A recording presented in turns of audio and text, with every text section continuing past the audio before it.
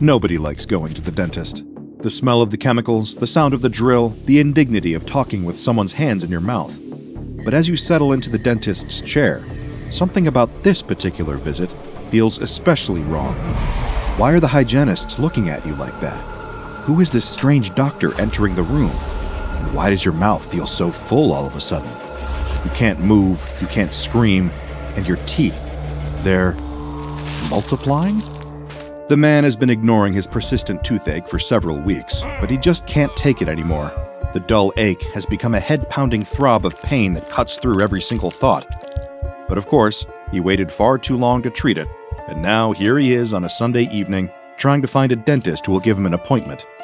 It's not his fault, he tells himself. He's been terrified of the dentist since he was a little kid. It takes a lot of pain to counteract that kind of phobia, but now he's reached that threshold.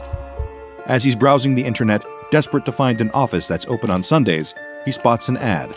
Dr. Hendricks, dentistry 24 hours a day, 7 days a week. The man isn't sure how that's possible, but the pain has made him desperate, so he calls the number on the ad and makes an appointment. The receptionist sounds a bit funny on the phone, like she has something in her mouth, but he brushes it off. Fifteen minutes later, he's walking into the office and checking in at the reception desk. The woman sitting there looks a bit unusual, but his mother raised him not to stare, so he gives her a polite, distant nod, declines her request to inspect his teeth for herself, and ignores the strange feeling in his gut at her words. Instead, he continues on to the exam room and waits for the doctor to take his pain away. He waits for quite some time, until he begins to worry that the dentist forgot about him. Or perhaps this office really was too good to be true, and this is some sort of scam. But then the door opens, and in comes Dr. Hendricks with a cheerful demeanor and a smile in his eyes. His mouth is covered with a surgical mask, so the man can't be certain, but he seems like he's definitely smiling. It's a good thing the man came in so quickly, the dentist assures him. His teeth are in dire straits. But don't worry, he's in very, very good hands, and by the time he walks out of the office, he'll be in great shape. The man asks the dentist if he can be put under for the procedure in order to prevent him from panicking. The dentist laughs uproariously at this request, but he agrees. He places a gas mask over the man's face, and the hissing sound of the gas fills the room. The man's eyes grow heavy, and the sterile white room fades to black. When the man wakes up, he's sitting on the sidewalk outside of the office, a plastic bag of mini mouthwash clutched in his hand. And his mouth. Oh God, his mouth. It's aching like nothing he's ever felt before. But something else is wrong too. He reaches up to feel around his mouth with his fingers, and all the color drains from his face. His mouth is absolutely crowded with teeth. So many teeth, his tongue can't move without poking up against them. He expected to leave the dentist with one tooth missing, but instead, somehow, he has 30 more than he started with. Unfortunately for this man, who only wanted to have a toothache treated, he stumbled into the clutches of SCP 5150. SCP 5150 is a dental office located outside the northwestern perimeter of Indianapolis, Indiana. The office building occupies an area of approximately 140 square meters, and the interior measures 115 square meters. The building is unremarkable in every way, with the exception of an electrical sign above the building's front entrance, which reads Dr. John Hendricks, DDS.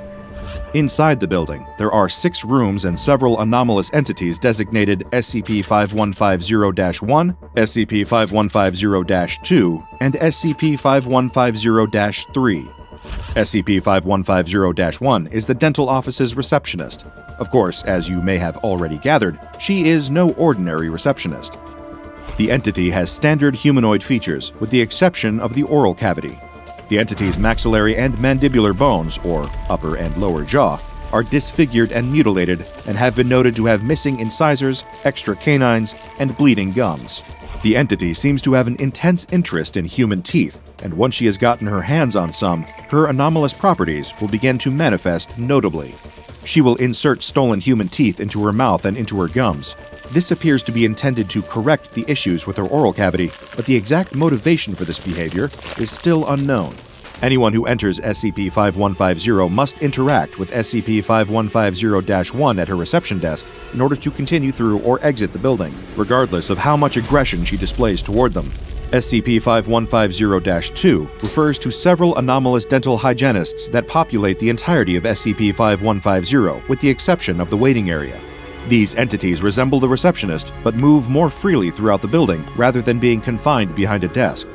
They are similarly aggressive and will attack human subjects in order to apprehend them and bring them into one of the examination rooms.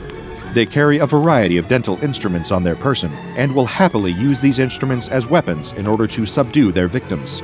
Once the hygienists have taken a human subject to an exam room, they will strap them to an operating table and prepare them to meet the remaining entity lurking within the office.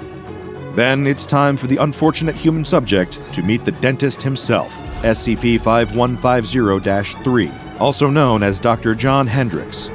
This entity spends his time in the examination rooms as well as his personal office. When he is presented with a patient, he will begin to insert teeth directly into their mouth, where they will anomalously take root and result in extreme cases of hyperdontia. The source of these additional teeth is currently unknown. Once the operation is complete, and Dr. Hendricks is satisfied with the amount of teeth he has forced into his patient's mouth, he will then attempt to give the subject a plastic bag containing a variety of over the counter oral healthcare products. These can include a toothbrush, dental floss, mouthwash, and toothpaste. The subjects will not be allowed to leave the building without taking this bag with them. Analysis of these products has not revealed any anomalous properties. On July 9, 2023, the SCP Foundation conducted an investigation of SCP 5150. Subject D457142 was ordered to investigate and explore the building. He was equipped with a camera and microphone, as well as a chocolate bar, which was placed in his pocket for emergency use. Control lead was assigned to Bobby Daniels, and Marcus Drago and Andrew Fuller were additional team members on the investigation. D457142 approached the building, but hesitated before going inside. He asked what would happen after he entered the building, but Daniels refused to elaborate. His questions went unanswered. With no other option, D457142 entered the building. When he opened the door, a doorbell dinged to signal his entry. As the door closed behind him, he could hear a click as the lock slid into place. This sent the man into a state of anxiety, and he attempted to open the door. It wouldn't budge. He called out to control over the microphone, begging them to unlock the door, promising that he would not run. Daniels at control explained that he couldn't do anything about it, as the Foundation had no control over the doors. That lock was all SCP 5150's doing. After some hemming and hawing, D457142 had no option but to proceed and continue into the waiting area of SCP 5150. Inside, he saw a row of four chairs, a smattering of assorted toys common to any medical waiting room, and more chairs. There, off to the side, was the counter, and behind a sheet of glass with a small opening approximately 1.2 meters tall and 0.8 meters wide, the receptionist was waiting. Strangely, the camera feed was not able to pick up any of the receptionist's physical features, leaving the test subject alone to observe her and try to make sense of what he was seeing. Nothing was especially out of the ordinary in the room at first glance, aside from the episode of Buffy the Vampire Slayer playing on one of the waiting room TVs. The subject walked through the room, taking note of everything that he saw. Then he turned to face the receptionist. The receptionist was dressed in a white collared shirt with a white face mask covering her mouth there was a sheet of paper directly in front of her. She greeted the test subject. Hello, sir. Can I help you schedule an appointment? Unsure of what else to do, the test subject played along. He asked her how to proceed with scheduling, and the receptionist handed him a pen and directed him toward the paper in front of her. She instructed him to sign and then wait for his appointment with Dr. Hendricks in five minutes. Once the subject signed the paper, the receptionist stated, Now, before you can enter, there's one thing I'll need to see. The subject agreed, asking what she needed to see. The receptionist responded, Your teeth, of course. May I see them? As you might expect, the test subject found the request off putting and inquired why she might need to see his teeth. She responded in a friendly tone I'm currently taking online classes for dentistry and I need experience. Occasionally, patients will let me take a look at their teeth so I can predict how well an appointment with Dr. Hendricks will go. Will you let me try with you? The subject relented, opening his mouth. As soon as he did, the receptionist reached out and grabbed hold of the lower left quadrant of the man's jaw. The receptionist praised the man's teeth, exclaiming how clean they were. Then she quickly pulled a pair of pliers from underneath her desk, clamping them to the bottom central incisors of the subject's mouth. She pulled toward herself with a sudden, sharp yank, extracting the teeth from the subject's mouth in less than one second. The test subject recoiled, clutching at his mouth and screaming in pain and shock. Blood dripped onto the camera lens as the subject struggled to wipe it away. He stumbled toward a nearby tissue box, grabbing a fistful of tissues to sop up the blood and stem the flow. Meanwhile, the receptionist went about her business. She stared at the two bloody teeth in her hand, admiration in her eyes. Next, she removed her face mask, revealing her disfigured oral cavity, and began to forcefully insert the new teeth into empty areas of her gums. As the subject backed away from the reception desk in horror, the receptionist called out, Dr. Hendricks can see you now, sir. Please head to room 3 for your examination. Of course, the subject was reluctant to continue into the building, but Control insisted that he go through the door leading to the exam rooms. At first, he refused, but after a reminder that he was locked in and the promise of a medical team waiting for him after the investigation was finished, he saw no option but to move forward. So he tossed his bloody wad of tissue paper in the trash and pushed through the next set of doors. As before, he could hear the click of the lock behind him, trapping him inside. He stepped carefully into the hallway, pressing his body against the left side of the wall as the sudden sound of laughter echoed through the hall. Where was it coming from? Who could be laughing somewhere like this? He wasn't sure he wanted to know the answer. He continued through the hall, edging along the wall. Suddenly, he froze, crouching down to hide as one of the hygienists exited a nearby door the entity passed him without noticing him, entering another exam room. The subject continued until he reached the far side of the hallway where a door with the nameplate John Hendricks was waiting. He opened the door and entered. There was no one inside. He checked in with Control, asking for instructions on what to do next. Control advised him to look for anything that could potentially be important documents, research papers, journal pages, anything that might shed some light on the nature of SCP 5150. He obeyed and began to search the desk, but found it was empty. Just then, the door to the office opened, and a hygienist called out to the subject, What are you doing? We have another room waiting for you. At this point, cornered and with nowhere to run, the test subject grabbed his emergency chocolate bar and unwrapped it. At the sight of the sugary treat, the hygienist screamed and backed away. Two other entities appeared, wielding sharp double sided probes used during dental examinations. The three entities advanced toward the subject. In a panic, he threw the chocolate bar, and it collided with the third hygienist. The entity shrieked, its mouth beginning to bleed as its teeth rapidly decayed. But now the subject was left unarmed and could not defend himself against the assault of the other two entities. They grabbed hold of him, one entity stabbing the subject with the probe, while the other bit down on his exposed forearm hard enough to draw blood and crack the bone. As he cried out in pain and fear, with no one able to save him, the subject was dragged to exam room 3. There, the hygienist strapped him down on an operating table, tying him in place with leather straps. You can trust us, sir, one of the entities said. We'll just need to pull some teeth before the dentist arrives. At this point, the entities removed the subject's two lower canines and three molars, all while he remained conscious and screaming. Then the door opened, and another entity came into the room. The doctor was in. At the sight of the dentist, the test subject began to spit various expletives. Dr. Hendricks met the verbal assault with an amused chuckle. What a tongue! Why so harsh?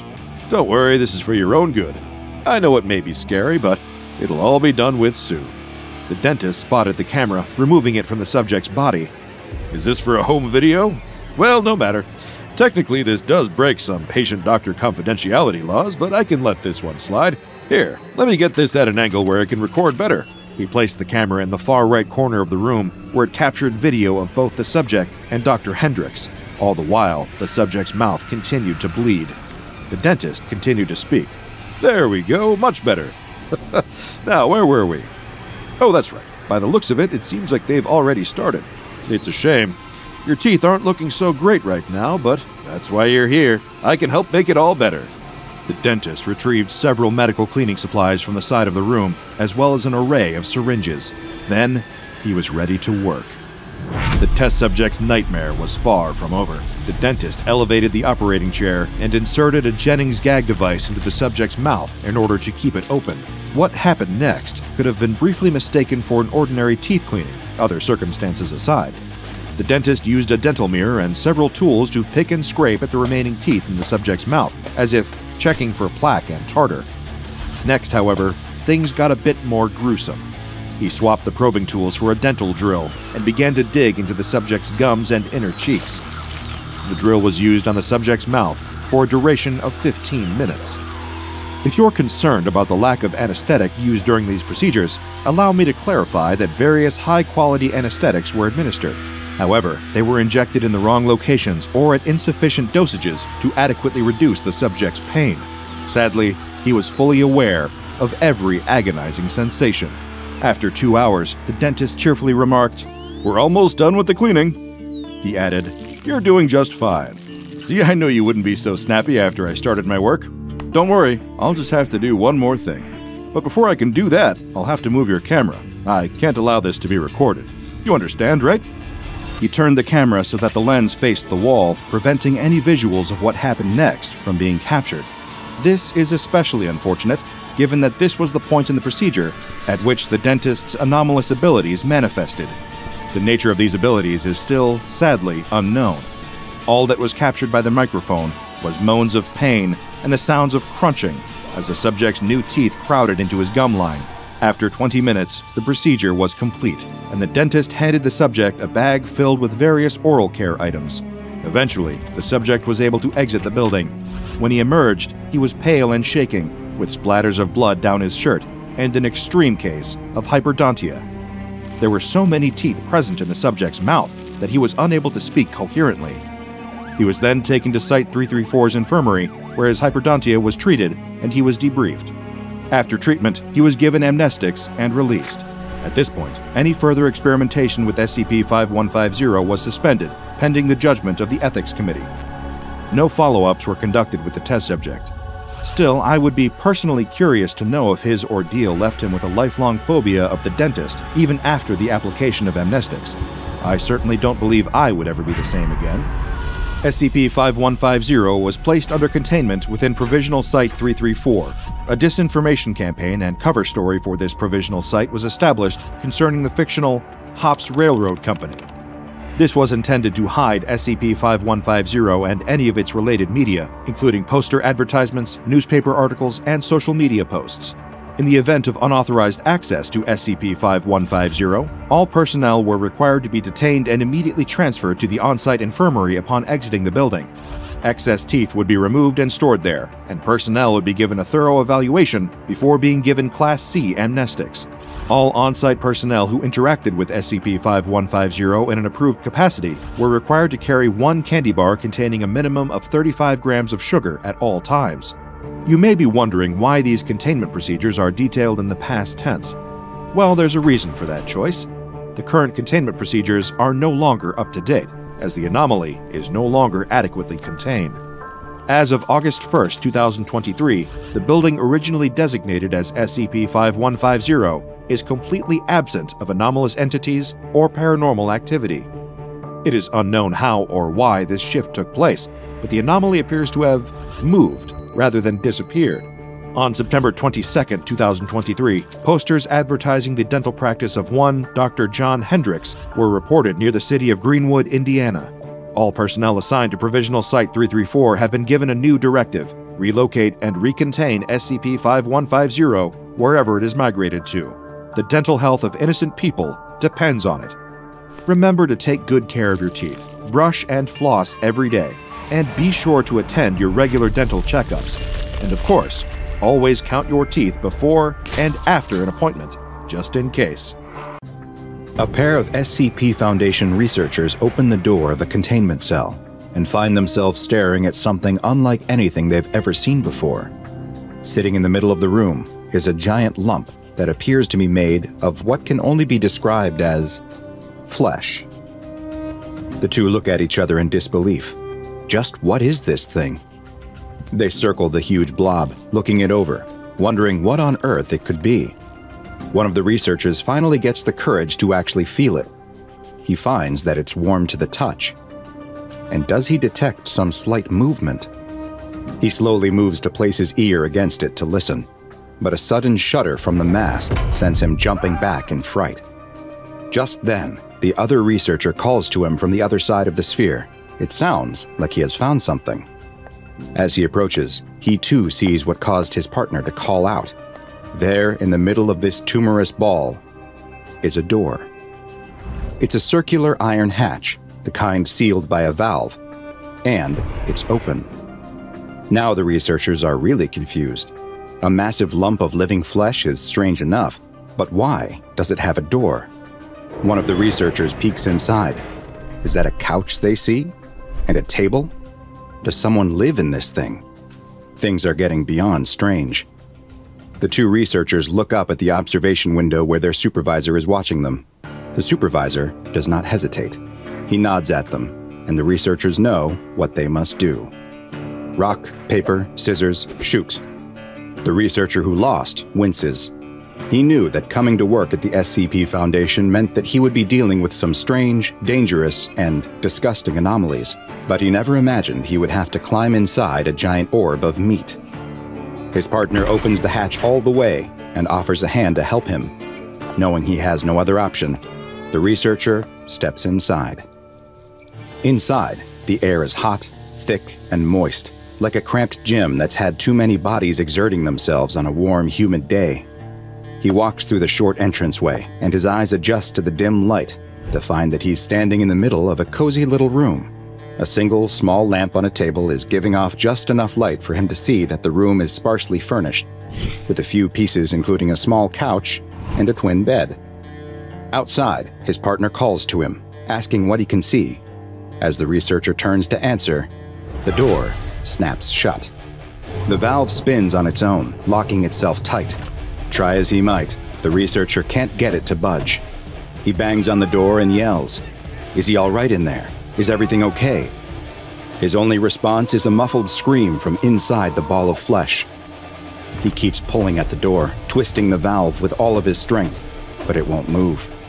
The sounds of gurgles and wet sloshing come from inside the meaty growth. An alarm starts to sound as he strains against the door, exerting himself so hard that he feels like a vein in his head might burst. Suddenly, the valve loosens, and the sudden lack of resistance causes him to fall to the floor. The valve spins on its own, and the door swings open once again. The ball of flesh is quiet once more. The researcher picks himself up off the ground and slowly, carefully, peeks inside. Hello? Are you okay? Is anyone in there? There's no response. That is, until a blast of hot air comes rushing out of the hatch, blowing the researcher's hair back. When it's over, he peeks inside again. His fellow researcher is nowhere to be seen. Inside is the same couch, bed, and table with a small lamp. But there's something new there, too. Across from the couch, where there was nothing before, is a small television. While this may seem strange, it's just another day at the SCP Foundation, where anomalous objects and creatures are studied and contained, including SCP 002, also known as the Living Room. SCP-002 is the designation given to a large, tumorous, fleshy growth. It's roughly spherical, with a circumference just over 15 meters, giving it an estimated volume of around 60 meters cubed. Located on one side is an iron valve hatch, similar to what might be found on an old submarine, which leads into the interior of the ball. Those who step inside are surprised to discover a small room that resembles a low-rent studio apartment complete with furniture and even a small window. Strangely, the outside of the ball of flesh shows no windows, and indeed no openings at all, save for the iron hatch.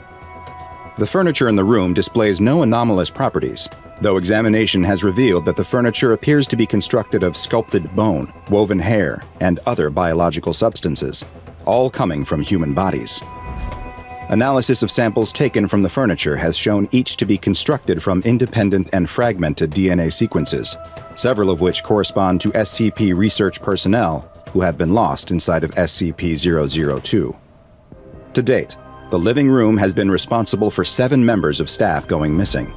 At the same time, during the course of its containment at the SCP Foundation, the room appears to have added multiple additional furnishings, including two lamps, a throw rug, a television, a radio, a beanbag chair, three books in an unknown language, four children's toys, and a small potted plant. Tests have been performed using a variety of non human entities in order to see if they would provoke a similar response from SCP 002 to that of humans.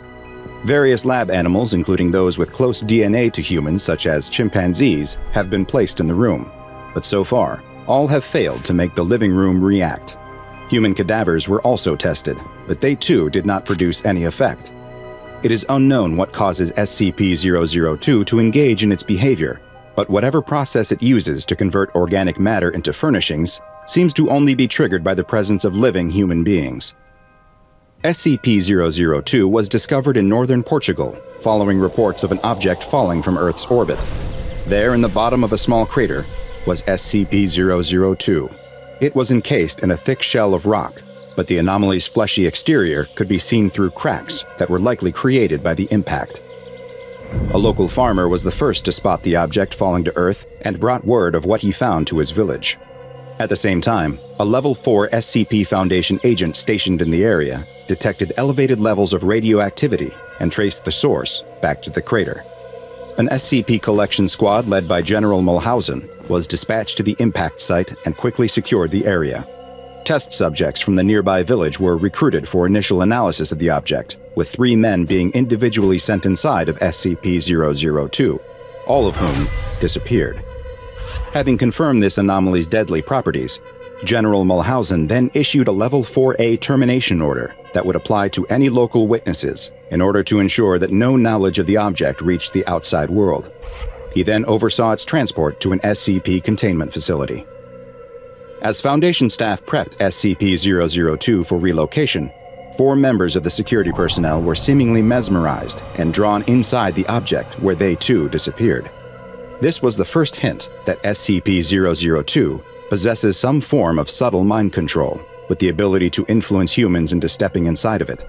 It was after these losses that it was first noticed that the object appeared to grow new furnishings following someone disappearing inside.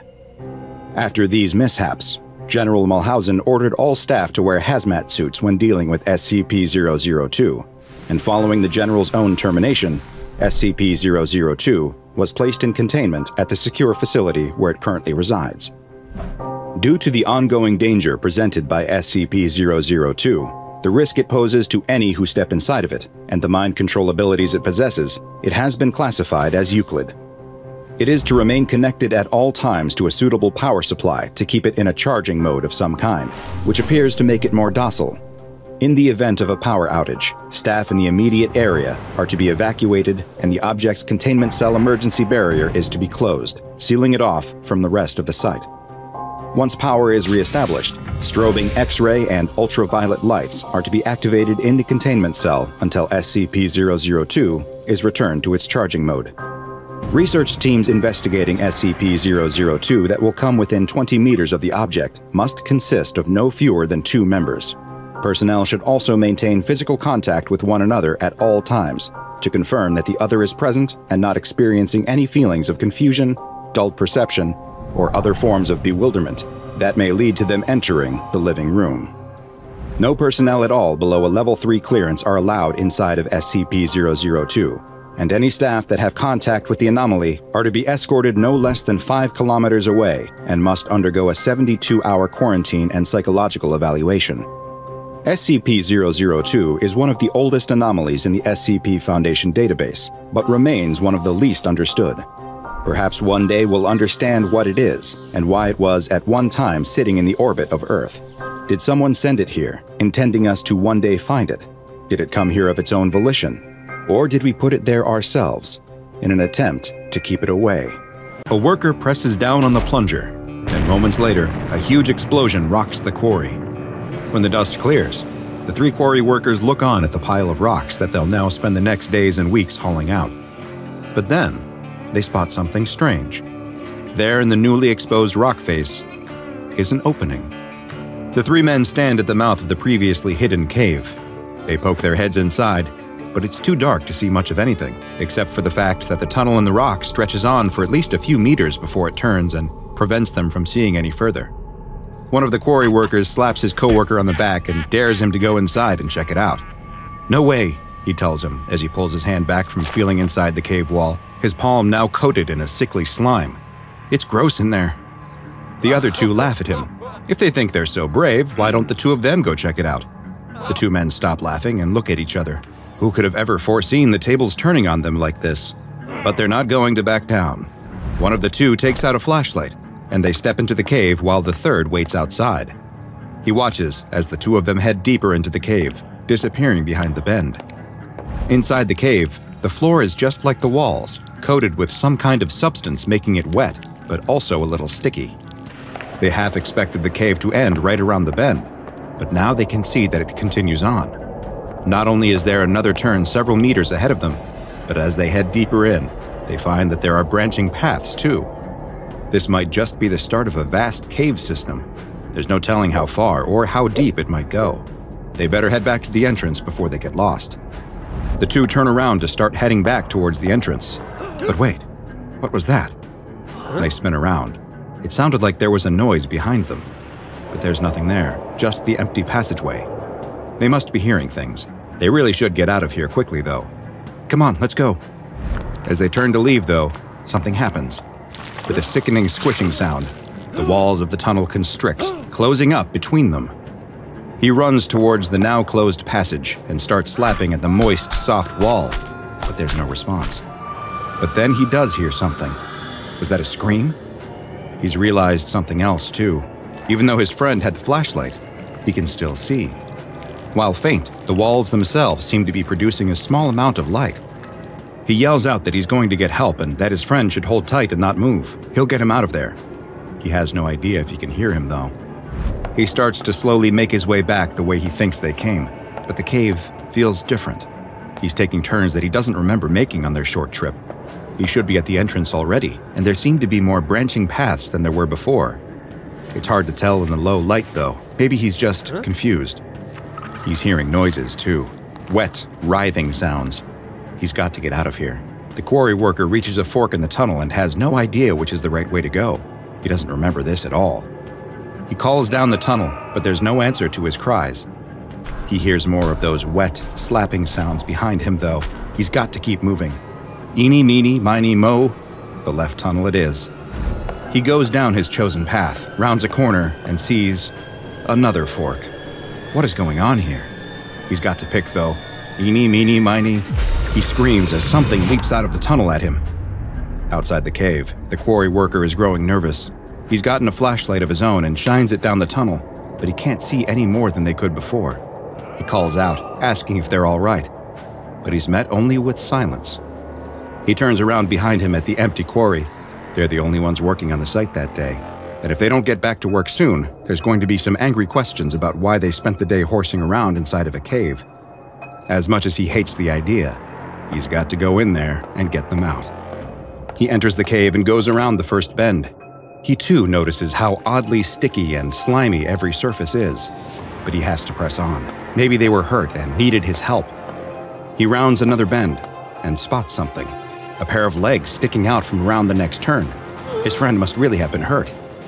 He runs towards his injured coworker and kneels down next to him.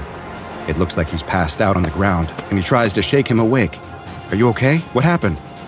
His friend moans a bit, but doesn't even open his eyes. He moans again, and this time blood starts pouring out of his mouth.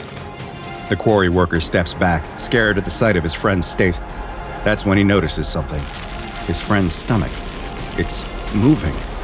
He leans in close. He can see bumps swelling and moving around his abdomen is that? The SCP Foundation soon learned of the troubling reports and moved quickly to purchase the quarry and the surrounding lands. Those who had seen or heard rumors about the missing workers were amnesticized, and all further access to the area around the quarry was strictly controlled.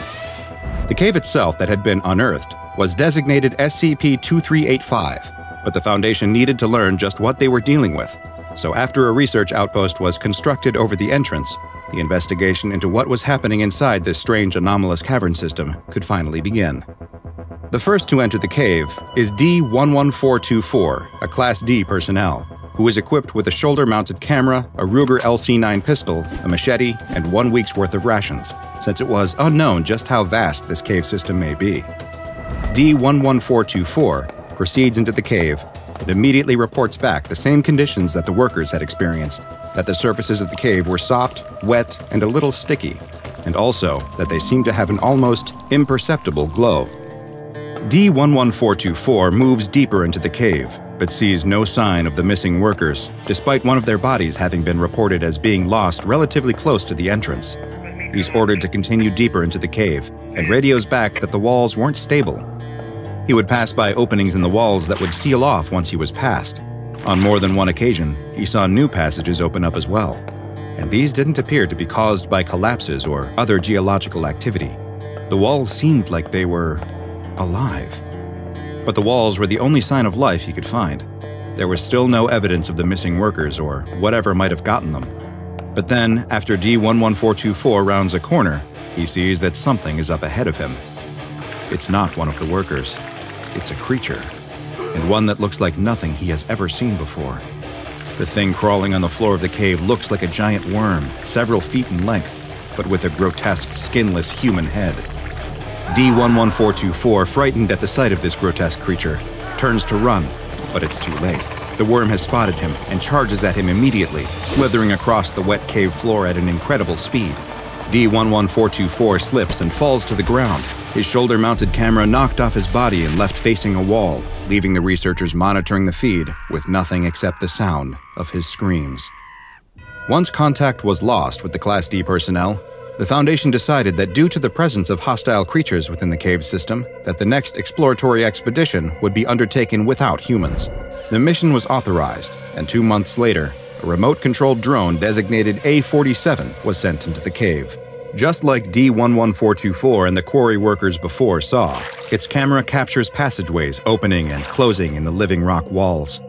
As it progresses deeper, it eventually spots the same worm like creatures with horrible human faces that look like they've had their skin removed, which have now been designated by the Foundation as SCP 2385 1 entities and A47 soon discovers a surprising fact about these bizarre organisms.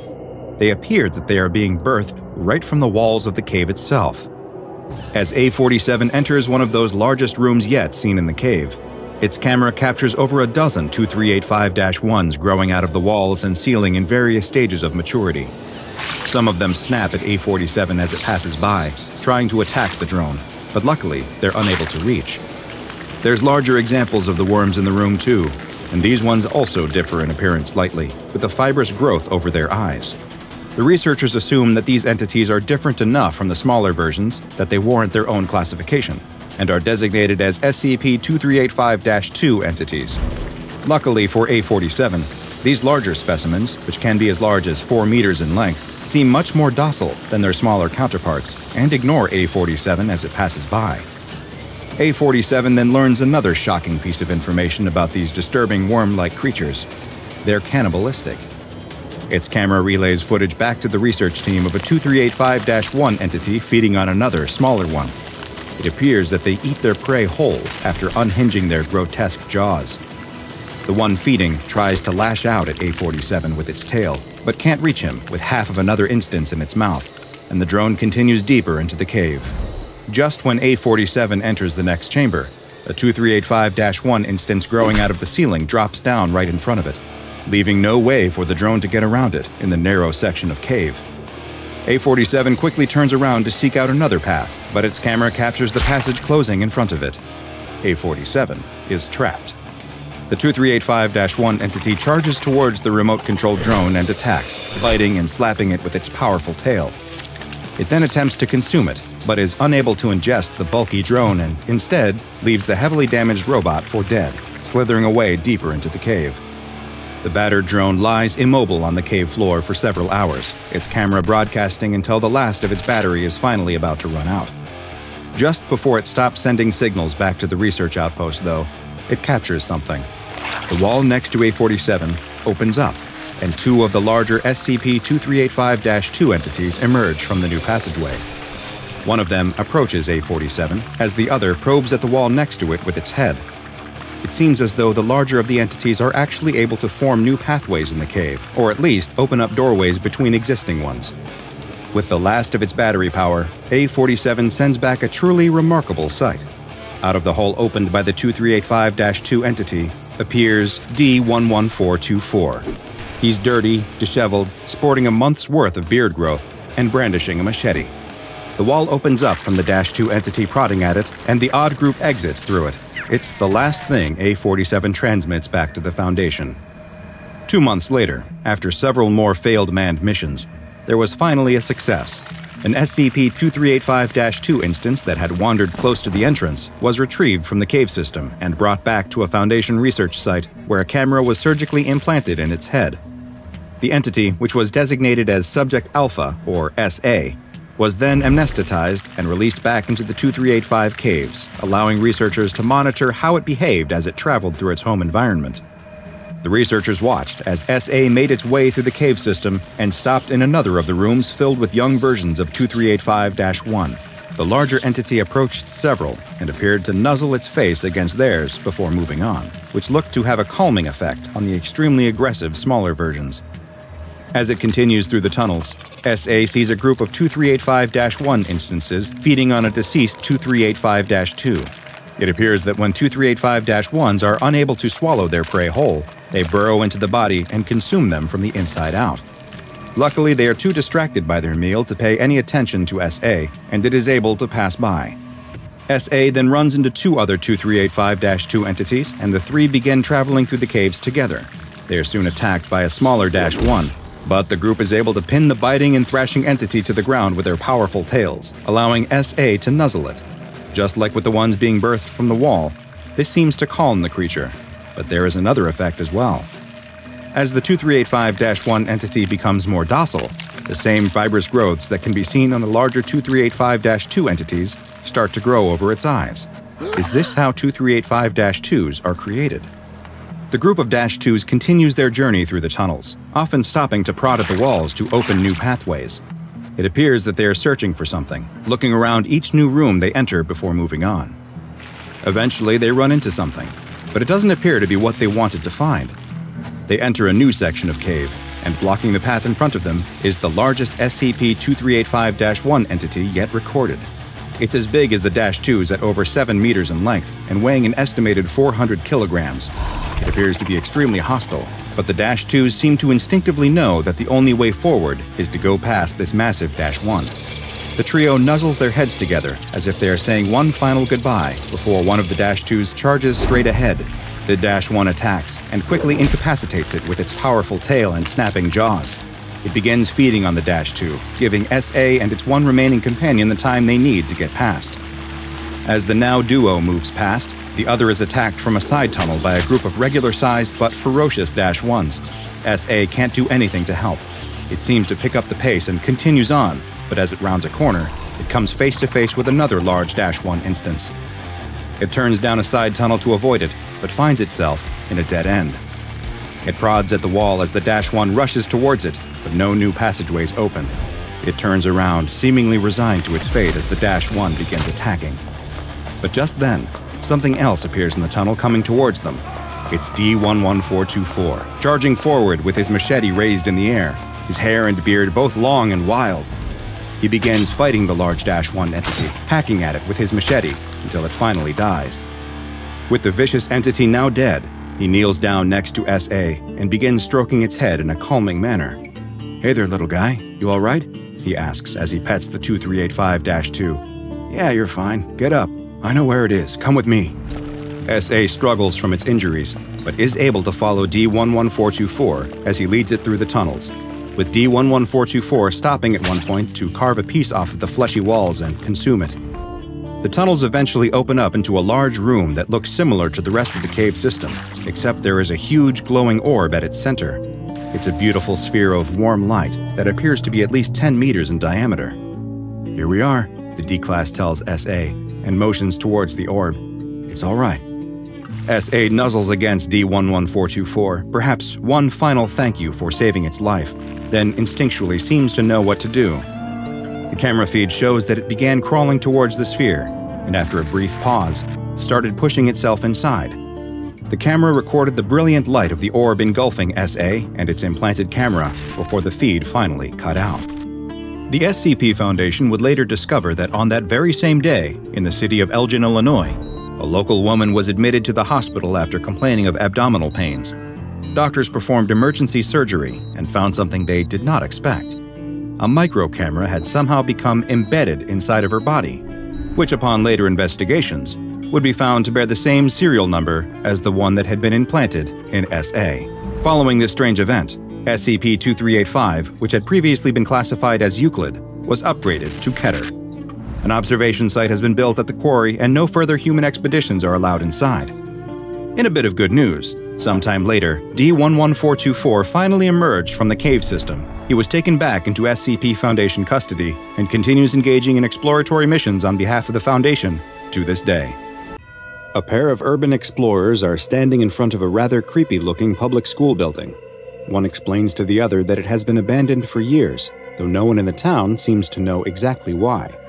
The two pull a board off one of the windows and climb through. The inside looks pretty much like they were expecting. Their flashlights reveal that years of squatters, teens partying, and wild animals have left plenty of refuse and debris lying around. There are two wings branching off the central portion of the building, they pick one of them to explore and start walking down the hall.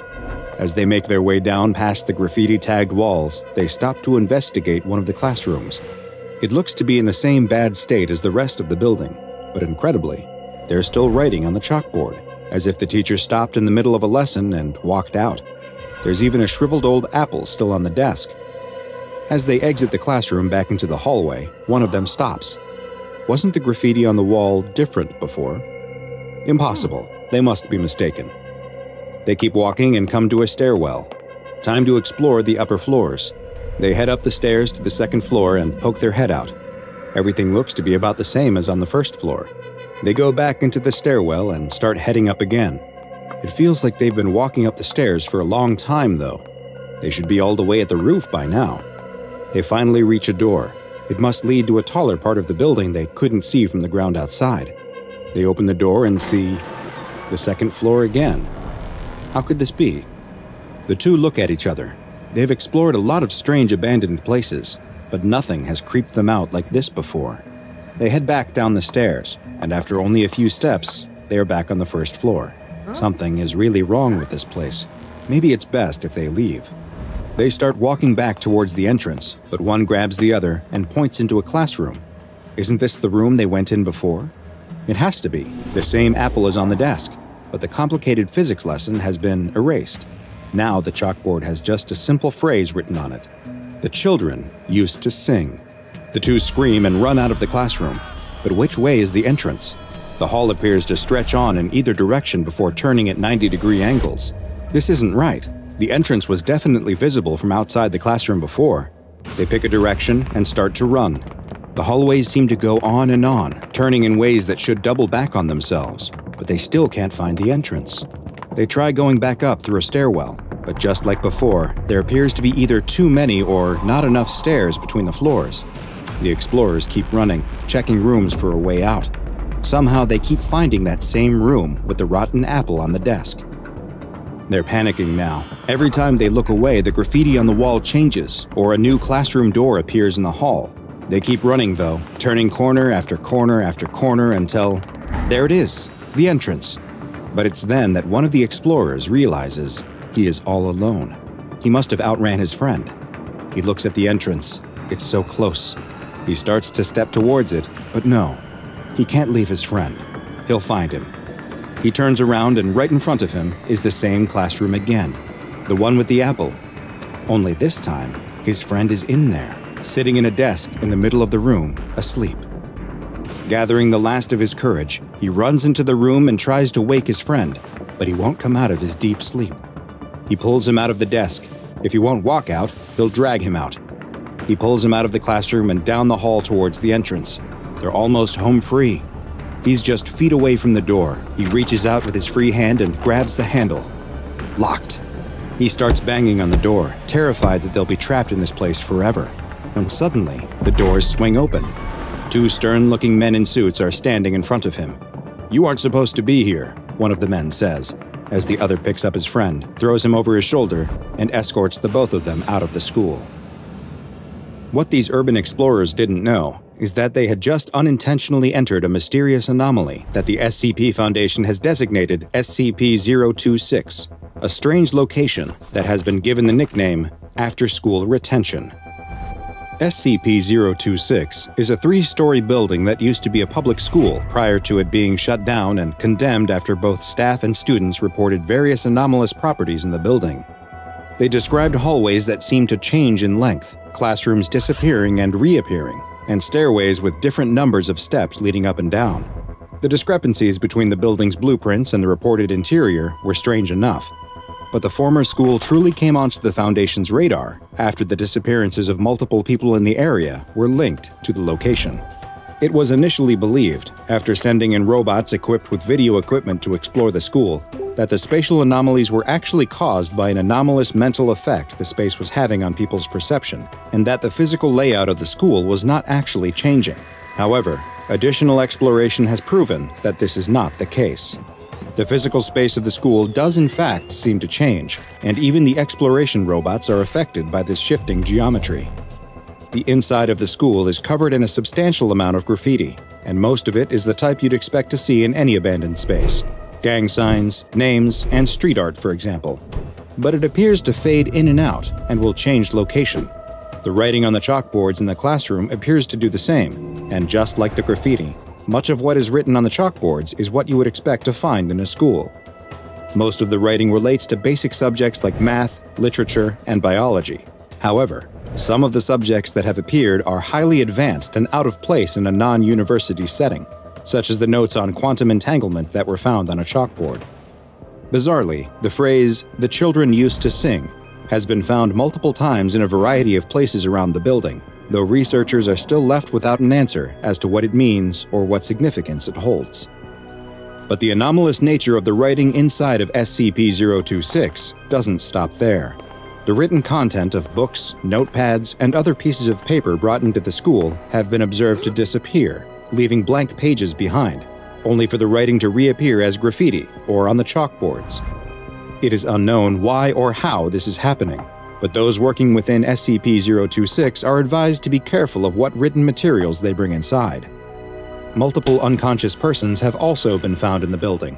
Several of the people found in the school have been identified as either former students or faculty of the school, including teachers and janitors, all of whom had been reported missing in the years following the school's closure. Despite some of them disappearing as long as 10 years after the school closed, when they are found inside SCP 026, they appear much younger than they should be, with the majority being high school aged and dressed in the style of the school's dress code in the time before it was shut down. It is currently not known how they ended up inside of SCP 026 or why they present as being a younger version of themselves. Attempts to wake unconscious people while still inside the school are always unsuccessful. However, once they are transported outside of SCP 026, they will immediately awaken all have displayed signs of confusion in their brief moments of consciousness before quickly dying from what appears to be severe dehydration. Their bodies will then experience rapid advanced decomposition. No useful information on the nature of SCP 026 has been gleaned from any of these subjects in the brief period after removing them from the school that they are conscious and alive. There have also been several cases of D class personnel who had participated in SCP 026 research disappearing from Foundation control, only to be found within the school at a later date. All are found sleeping and experience the same fate as the others who mysteriously appear within the school. The same inability to wake up while inside the school appears to also apply to those who enter SCP 026 and fall asleep, though they do not suffer the same gruesome fate upon being removed from the site and waking. Such was the case for a Foundation agent who, during a routine security check of the site, was found sleeping in the entranceway of the school by his partner. They were unable to wake the agent up, and he was moved outside the building. As soon as he was outside of SCP 026, the agent regained consciousness and appeared to be in a state of extreme agitation. In later interviews, he reported that he had dreamed he was in a strange classroom, and the same dream has been reported by all subjects who have fallen asleep in the school as well as by the D class personnel who were later found inside. They all describe that in the dream, they are sitting inside of a classroom that closely resembles those found in SCP 026, though in the dream it is in a condition that matches how it likely appeared while it was still a functioning school. The bell rings, but no one moves, and raising their hand does not get the teacher's attention. Everyone is just sitting silently. If they try to leave the classroom, they find the doors locked. They then notice what is really off about the dream. Everything is in black and white, except for the dreamer, who looks down at their own hands and realizes that they are in color. Just as they begin to realize that they are dreaming, and that they are the one who is out of place, they wake up. This dream will persist, recurring over and over, and each time it takes the dreamer longer and longer to realize that they are dreaming. They also notice each time that their hands are a little more gray. Research into SCP 026 is ongoing, and all potential entrances, including both doors and windows, are to remain locked and boarded up in between investigative missions. Alarms have been placed around the location to alert Foundation personnel in the event that civilians or any other unauthorized personnel gain entry to the site. Due to the fact that even with these precautions, people continue to be found within SCP 026, and there has not yet been a reliable way discovered to prevent it, this anomaly has been classified as Euclid. While you do not appear to be at risk of any serious danger if you have not previously fallen asleep in SCP 026, pay attention to your dreams. And if at any time you find yourself back in a classroom setting where things seem, well, off, contact the nearest SCP Foundation personnel to receive Class A amnestics in order to minimize any risk of you experiencing an after school retention. The girl sighs and slumps in her seat, kicking at the back of the bucket seat in front of her. Her mother, sitting in the car's front passenger side seat, doesn't even notice. She's too busy taking photographs out the window and chattering with her husband, who's driving the car. That's all they've been doing all day, and the girl is sick to death of it. Her parents dragged her on this stupid vacation trip, and now she's got to waste her whole summer away from her friends. She stares out the window and watches the pastoral countryside slide past. The quaint little villages and rolling hillsides really excite her parents, but she could not care less. Mom and Dad planned this family vacation across Europe for months, but she would much rather have gone oh, someplace interesting instead. There are only so many boring old castles and stupid cathedrals that you can look at before you just lose your mind. The girl sighs and crosses her arms across her chest in silent resignation. Guess we're just gonna look at more dumb buildings, she mutters. Honey, can you stop that? Your father worked really hard to put this trip together, and the least you could do is pretend to have a good time, says her mother, momentarily lowering her camera to berate her ungrateful daughter. Huh? It's the first time that her mother has acknowledged her all day. I think you're really gonna like today's itinerary, says her father, grinning as if he's got a delicious secret that he can't wait to share. We know it's been hard for you spending your whole summer away from home, so today we're gonna do something just for you. Uh huh, says the girl. Sure, Dad. She rolls her eyes and pulls out a cell phone. At least she can still get internet access out here. Desperate for something to distract her from the monotony of this car trip, she quickly scrolls through her feed and reads all the notes that her friends back home are posting. She frowns. Her classmates are all posting about the latest blockbuster film in the girl's favorite media franchise, Vampire Boyfriend. She grits her teeth. She likes to consider herself a Vampire Boyfriend superfan. She's a well known poster in the Vampire Boyfriend online community, famous for her fanfiction, as well as her own original character, Vampire Girlfriend. In fact, her writing is somewhat controversial. A lot of Vampire Boyfriend purists have accused her character Vampire Girlfriend of being a Mary Sue, and they object to her stories where a vampire boyfriend meets and falls madly in love with her, to the point that he forgets his canon lover from the film series, Vampire Wife. She's annoyed to see that her friends got to see the new Vampire Boyfriend movie on opening night, while she's stuck out here on this stupid family vacation. The movie won't premiere in Europe for another few months, and there's no way she's going to be able to avoid spoilers for that long. Everything about this situation seems tailor made to irritate her, and the excited giggles of her parents in the front of the car as they exchange knowing glances are only annoying her more. Trust me, you're gonna love this, says her father again. He peers at an unfolded road map in his lap, mutters something under his breath, and turns the car off the main highway and onto a narrow gravel road. The girl grits her teeth as the car rattles over the uneven ground so hard that it nearly jostles her cell phone from her grasp. She tries to distract herself by typing some notes to herself, plot points for the latest Vampire Boyfriend fanfiction that she's working on. In her new story, Vampire Girlfriend is going to be kidnapped by werewolves, leading Vampire Boyfriend to have an existential crisis as he struggles to find meaning in a world without his beloved. She makes a note that Vampire Girlfriend should look, dress, and talk just like her. After all, she imagines, wouldn't she be the perfect match for vampire boyfriend? She pauses, a momentary dreamy expression on her face, as she imagines how much better a weekend together with vampire boyfriend would be compared to this boring car trip. This can't be right, mumbles her father, scanning the horizon. But the directions said. Suddenly he brightens up. Oh, there it is. Playland. The girl cranes her neck to see that the car is fast approaching what appears to be a little carnival at the end of the road. She rolls her eyes. Oh, great. Of course, her parents would take her here. First, they bore her with endless visits to museums and historical sites, and now, when they want to make it all up to her, they take her to a carnival for babies. She's not a kid anymore, but her parents still think that this sort of goofy nonsense should excite her.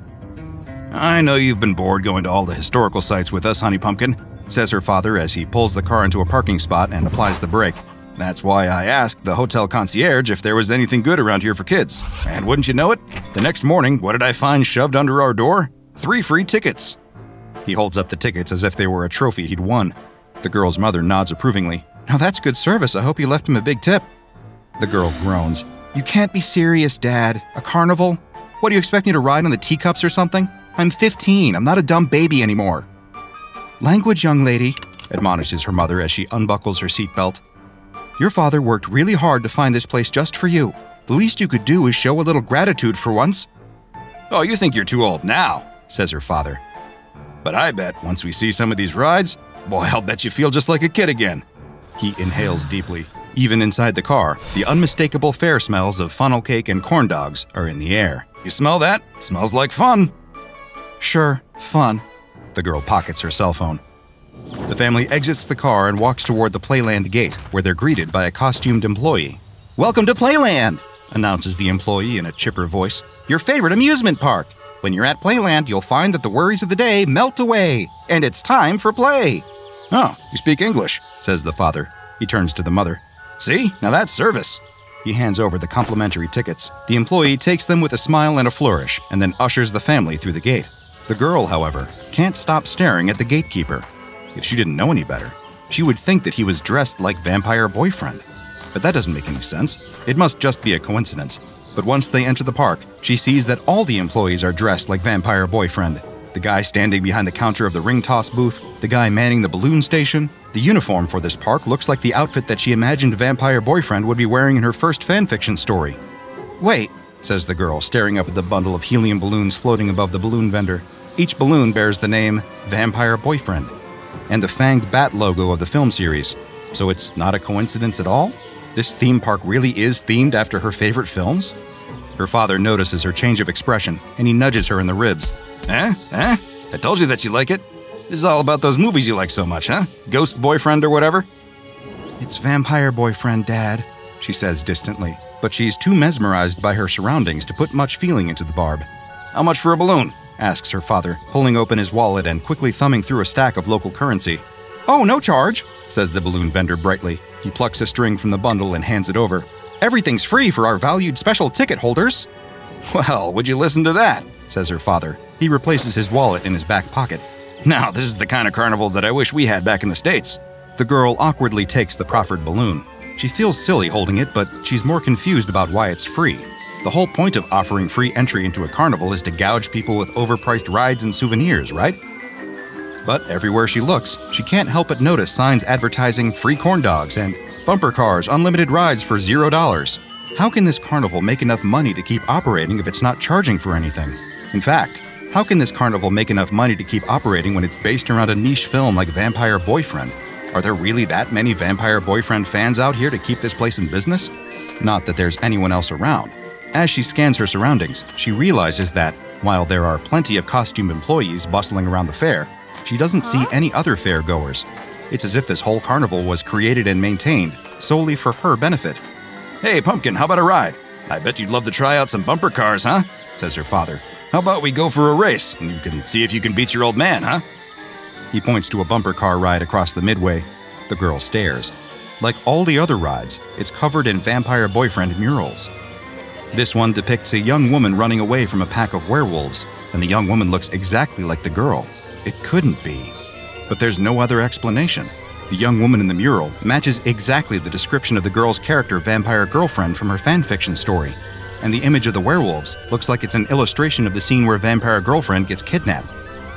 How could this be? Could it be that the artist, obviously a fan of the Vampire Boyfriend films, is also familiar with her fan fiction? But even if that was the case, it's absurd to think that he would use it as an inspiration for a theme park ride. Who other than her would possibly recognize this scene? Hmm, says the girl's mother, walking up behind her and peering at the mural. Why, that girl looks just like you. I know, she does, says the girl quickly. It's almost a relief to know that her mother has also noticed the resemblance. At least it means that she's not imagining things. At the same time, she feels a twinge of guilt. Readers online are always accusing her of using Vampire Girlfriend as a thinly disguised self insert. Seeing this larger than life picture of Vampire Girlfriend makes her think that there might be some merit to the accusation. Come on, you lot, stop worrying about some old picture and let's have some fun, says her father. He offers money to the ticket taker parked behind the kiosk, but the man merely shakes his head. Your money is no good here, sir, says the ticket taker. The bumper cars are free for our favored guests today. Their father clambers into the rink and ambles toward a bumper car. Her mother tugs at the girl's arm as if to encourage her to join in, but the girl resists. Come on, what's gotten into you? says her mother. This place is just weird, says the girl. Like, half of the stuff here isn't even from the official vampire boyfriend lore. It's all stuff that I made up for my stories. Her mother rolls her eyes in annoyance. Really, we go to all this trouble to find something that you would like to do, and all you want to do is complain? I'm sorry, ma'am, is there some problem here? The family is startled as another employee walks up to them. He's also dressed like vampire boyfriend, and a wide smile is plastered across his face. You folks look like you're upset about something. You're damn right I'm upset about something, yells the girl. In her rage, she throws her drink at the employee. He barely reacts as the cup explodes against his chest, dousing him with sticky soda. What's going on here? Where did you hear about Vampire Girlfriend? Ma'am, Playland is designed to give every visitor the perfect experience, says the employee blandly. That's not good enough. Tell me what's going on here. The employee's attitude changes on a dime. His bright smile fades, and suddenly his tone turns stern. Ma'am, I'm afraid that you're going to ruin everyone's fun if you keep up this sort of behavior. We like to keep things fun here at Playland. If you want to spoil the fun, I'm afraid I'll have to ask you to leave. Fine, then we'll leave. Oh, come on, young lady, we just got here, snaps her mother. We literally drove all day to get here and you want to leave after just one ride? You don't even like rides. There's a principle involved here, says her father sternly as he saunters up. Young lady, if that's your attitude, then I think maybe you should go wait in the car, because your mother and I intend to have a good time. The girl doesn't have a chance to argue. The employee rests his hands heavily on her shoulders and turns her around. Don't worry, folks. We'll escort her back to your car. You can join her as well when you're ready. The girl cannot believe what's happening. The employee politely but firmly steers her toward the exit, and Frog marches her out the gate. He abandons her in the parking lot, tipping his hat and smiling brightly before he disappears back inside the park. Please try to enjoy yourself, ma'am, until your parents are ready to join you. In the meantime, why don't you work on that new fanfiction you've been planning? How do you know about that? yells the girl.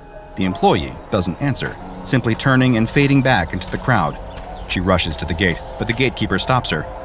Sorry, ma'am, no re entry without a ticket. But I have a ticket, she cries. You saw it. My dad gave it to you like half an hour ago. Come on, you can't be serious. She tries to push past him, but the gatekeeper grabs her wrists with surprising strength and holds her. Still smiling, he firmly escorts her back out to her car before releasing her. Please, ma'am, don't make a scene. You're going to disturb our guests. Who's in charge here? I I need to talk to the manager. I want my parents back right now. The gatekeeper doesn't even respond. He simply returns to his station. There's nothing that the girl can do now but wait.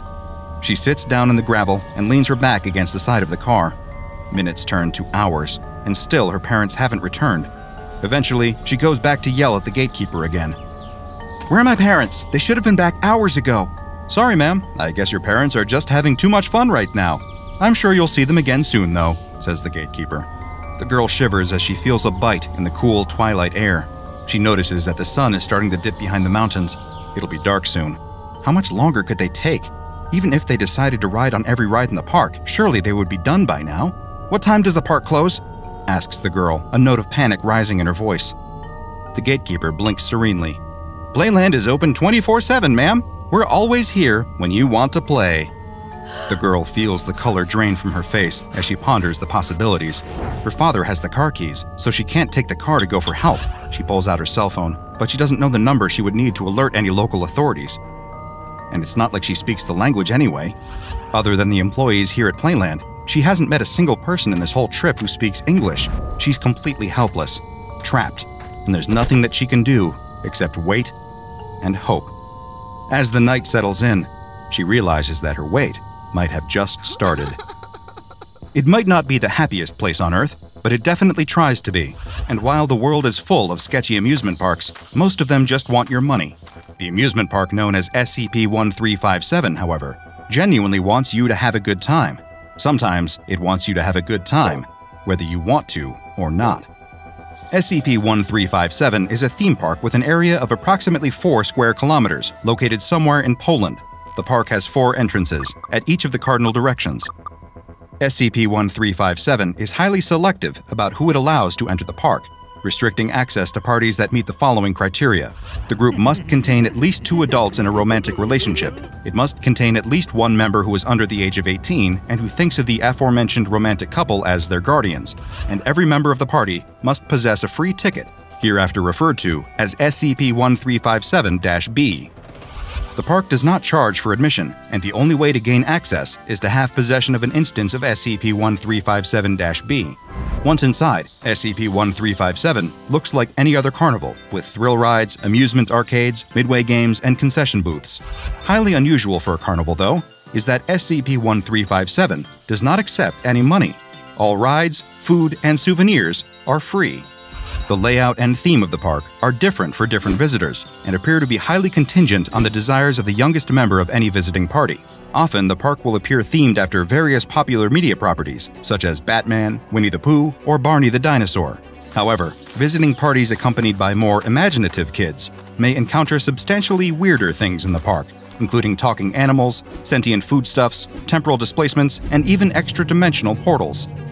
Although the park normally sits empty, when a group meeting entry requirements arrive at the gate, SCP 1357 will spontaneously manifest a full working staff, people designated as SCP 1357 A. Instances of SCP 1357 A appear to be ordinary humans of various ages, ethnicities, sexes, and genders, all clothed in matching uniforms, suggesting that they are employees of the park. Instances of SCP 1357 A are exceptionally friendly and helpful, and are extremely dedicated to making sure that visitors to SCP 1357 have a good time. In fact, there's nothing that they care about more. There is, however, a darker side to SCP 1357, and one incident suggests the frightening lengths to which the park will go to make sure that its younger visitors truly enjoy their stay. As part of an experiment, a Foundation agent visited the park with his own family, each member equipped with audio recording devices that continuously transmitted to Foundation consoles. During his stay, he attempted to interrogate an instance of SCP 1357 A. The instance of SCP 1357 A refused to answer the agent's questions about the purpose or origin of the park, instead, lamenting that the agent's attitude was going to spoil the fun for his family. Eventually, instances of SCP 1357 A escorted the agent to an exit and forcibly removed him from the park. When his wife attempted to follow him, the couple's daughter refused to leave. Instances of SCP 1357 A separated the daughter from her family, removing the wife from the park and keeping the daughter inside, leaving the parents with only vague assurances that their daughter would be returned when she was ready to leave the park. Attempts to forcibly recover the daughter proved futile, and even a well armed rescue team was unable to overcome the seemingly infinite numbers of SCP 1357 A that SCP 1357 manifested to protect itself. Hopes that SCP 1357 might indeed allow the daughter to leave when she became bored with the park attractions also proved to be futile. Audio captured from the daughter's recording device seems to indicate that when she eventually demanded that SCP 1357 A's release her, she was instead placed into some sort of machine that altered or brainwashed her into becoming an SCP 1357 A herself. Subsequent park visits by Foundation researchers have revealed a new SCP 1357 A that matches the daughter's physical description but does not display any memories of her past life. Interactions with the SCP 1357 A that resembles the missing daughter reveal that, like other instances of SCP 1357 A, her only thoughts are on how to please park visitors and help them enjoy a pleasant visiting experience. In the end, Playland may offer the ultimate amusement park experience for free, but it might still exact a price that's way too high. A prisoner in a striped uniform is led down the central corridor of a penitentiary by a pair of guards. Wherever he's being taken, The prisoner is not going peacefully. The other inmates stand at their cell doors watching as he is dragged past them. The prisoner is begging for the guards to show him mercy, pleading for them not to make him go in there, to subject him to anything, anything in the world, but that. The guards pay no attention to his cries as they force him along. They reach the end of the corridor and stop in front of the last cell, number 667. The prisoner looks into the dark, empty cell and screams, struggling against his captors one last time before they overpower him and shove him inside, slamming the door shut behind him. The prisoner looks around the small, dim cell. All that's inside is a bed with a thin mattress and a filthy toilet. He looks extremely scared, his eyes searching around the cell as if a monster is going to leap out from a dark corner and grab him. The prisoner hears a cracking sound and jumps in fright, spinning around to see a different kind of monster. Standing between the two guards who led him here is a third prison guard. He's enormous, and the prisoner watches as he cracks the knuckles of his massive hands. The giant guard reaches for something hanging next to the cell door. It's a clipboard. He looks at the prisoner's uniform and notes his name before writing it down. The large guard asks over his shoulder, So, what are we thinking? One day? Two? For this one? One of the other guards answers, He deserves a lot more than that for what he did. Why, what'd he do? asks the big one. He attacked one of the nurses. She's in pretty bad shape. One of the nurses? The veins in the larger guard's head start to bulge out as his grip on the pencil tightens. Who was it? It was. it was Gloria, the guard answers. The pencil snaps in the giant guard's hand. One of the guards quickly picks it up and hands it back to him. Through gritted teeth, he answers, I see. As the giant guard stares at him with angry, violent eyes, the prisoner starts to slink back into the dark cell, terrified of what's going to happen to him. You like to attack nurses, do you? Well, we're gonna give you plenty of time to think about that. I'll see you in a year. The two other guards look at each other, clearly thinking that this is extreme even for a crime like this. Are you sure that's a good idea? One of them asks. But it's already too late. The guard has penciled in the date for exactly one year later.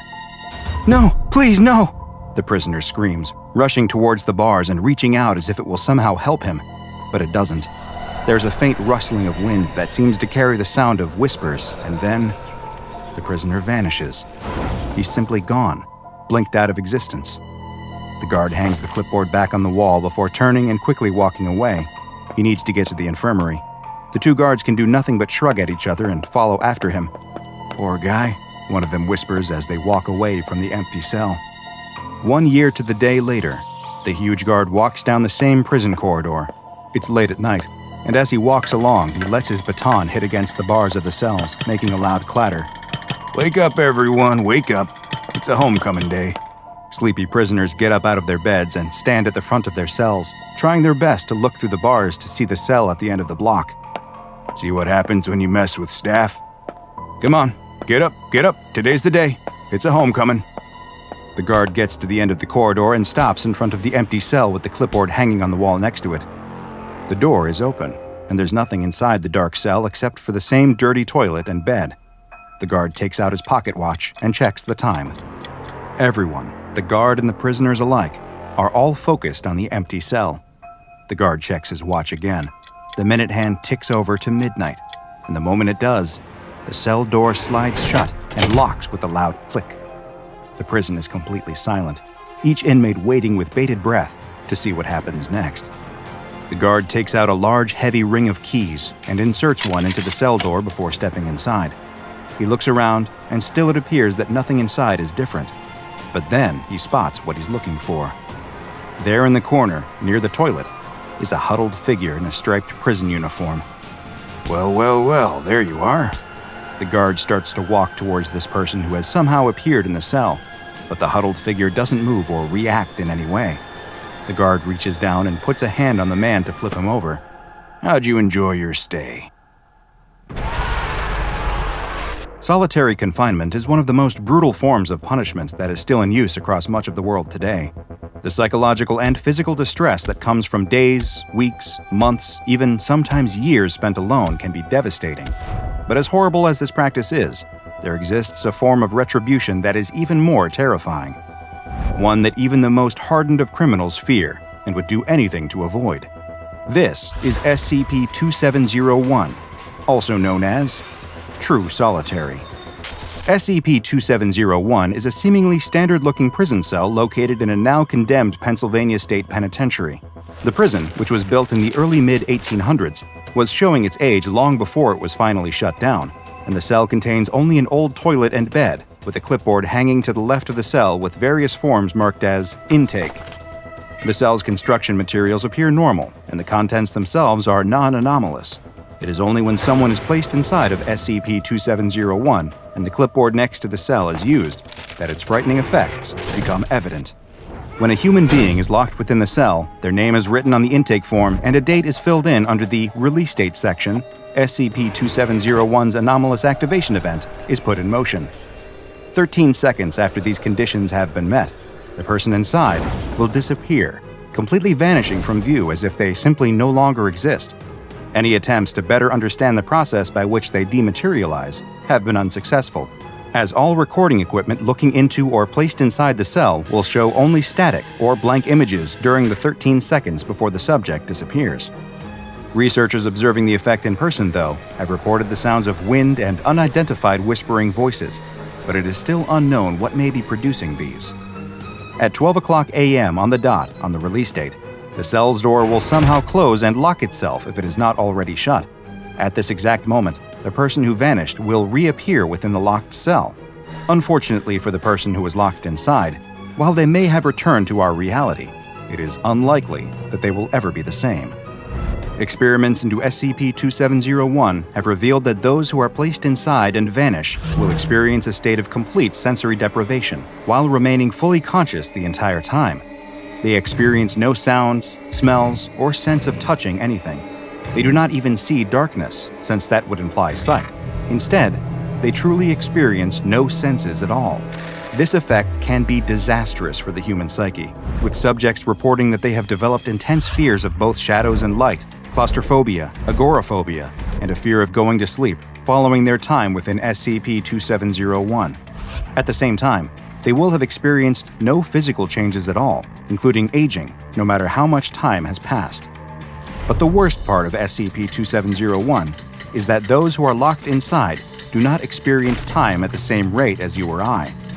No, tests have revealed that once someone disappears from within the cell, they will feel as if time has been significantly stretched out, with the dilation effect causing them to perceive time at a rate that has been estimated to be between 3 and 400 times longer than normal. That means that someone placed inside for two hours will experience time as if they had been locked away for 25 to 33 days, while someone placed inside for a whole year will feel as though they have been floating in a void of nothingness for several centuries. Foundation researchers have theorized that the absence of any outside stimulation for that long of a period causes the mind to break down rational thought structures in an effort to mitigate stress, and that a complete psychological breakdown soon follows. In order to better understand the effects of SCP 2701, the SCP Foundation embarked on a number of tests using Class D personnel. In one experiment, which was performed on a D class known as D77391, the event started at 11:45 p.m. and the release date was set for the coming midnight. This led to the D class being inside the cell for 15 minutes, though they experienced their time within as having lasted 75 to 100 hours. When D77391 was interviewed six hours after reappearing, they described their time inside as being a true hell. Experiencing nothing but emptiness, they couldn't do anything. They couldn't sleep, they couldn't even scream. They were left alone with only their thoughts and memories. The only thing that kept them from completely losing their mind was something one of the researchers told them before they entered the cell. The researcher told them that no matter what they felt, that they had to hold on to the idea that they were going to come back they needed to remember they wouldn't be in there forever. While these words of encouragement did seem to stave off the worst of the mental effects D77391 could have suffered, they also impacted the results of the experiment, and the offending researcher was later reassigned to a different project following a six month suspension. The SCP Foundation first became aware of SCP 2701 following reports of certain abnormalities at a Pennsylvania state penitentiary. There were numerous complaints by lawyers that they were not being allowed to meet with their clients, and that they were being denied access to the site by the prison's warden. When police were finally dispatched to the site to investigate, it was discovered that the entire prison, which previously housed 137 inmates and employed a number of staff, had only one inhabitant the warden. He described the activation procedure for cell 667 and explained that he had placed every single prisoner inside, one by one, and made them disappear. He had been keeping the funds that were supposed to be used for the care of the inmates, as well as to bribe officials and former staff in order to keep the warden's scheme secret and prevent any official inquiries. The warden surrendered to the police without incident, and an undercover Foundation agent within the Philadelphia police soon alerted SCP agents to the cell's anomalous effects. When a Foundation team arrived on site, they found the cell exactly as described, along with the intake forms. The prison warden had been telling the truth. Over a hundred forms were filled out with inmates' names, with release dates ranging from 50 to over 1,300 years in the future. The ease with which SCP-2701 is able to be contained has led to it receiving the Safe classification. The former prison where SCP-2701 is located is monitored at all times by video and audio surveillance, and a security guard equipped with full-body restraints is present at all times to both detain any subjects who appear within the cell, as well as prevent any new ones from being placed inside that aren't a part of an official SCP Foundation experiment. A construction worker puts the final nail into the wall of the room he's working on. He stands up and admires his work.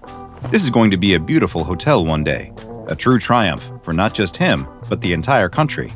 And he's proud that he got to play a small part in its construction. He starts to pack up his tools. There's plenty more rooms that need work. It's a massive structure that will ultimately hold thousands. What a modern marvel. As he finishes putting away his tools, he notices something. Through the still doorless frame, he sees someone walk by in the hallway. Normally, he wouldn't think anything of it. There's plenty of other people working on this floor of the hotel, but there's something about this woman. Could it be? No, it's not possible. He takes out his wallet and opens it. Inside is a faded photograph of the construction worker when he was still a young man, barely more than a boy, really. Standing next to him in the picture is the most beautiful woman he had ever known. She was his first true friend, his best friend, and he always hoped that maybe it would turn into something more. They grew up together, shared so many experiences, but then ultimately they were separated and lost touch. He was never able to find her again, but as the picture in his wallet shows, he never stopped thinking about her. Could it really be her, though? He runs into the hallway and calls out. The woman stops at the end of the hallway and turns around. She's carrying a tall stack of boxes that are blocking her face. She sets them down and he sees that it really is her.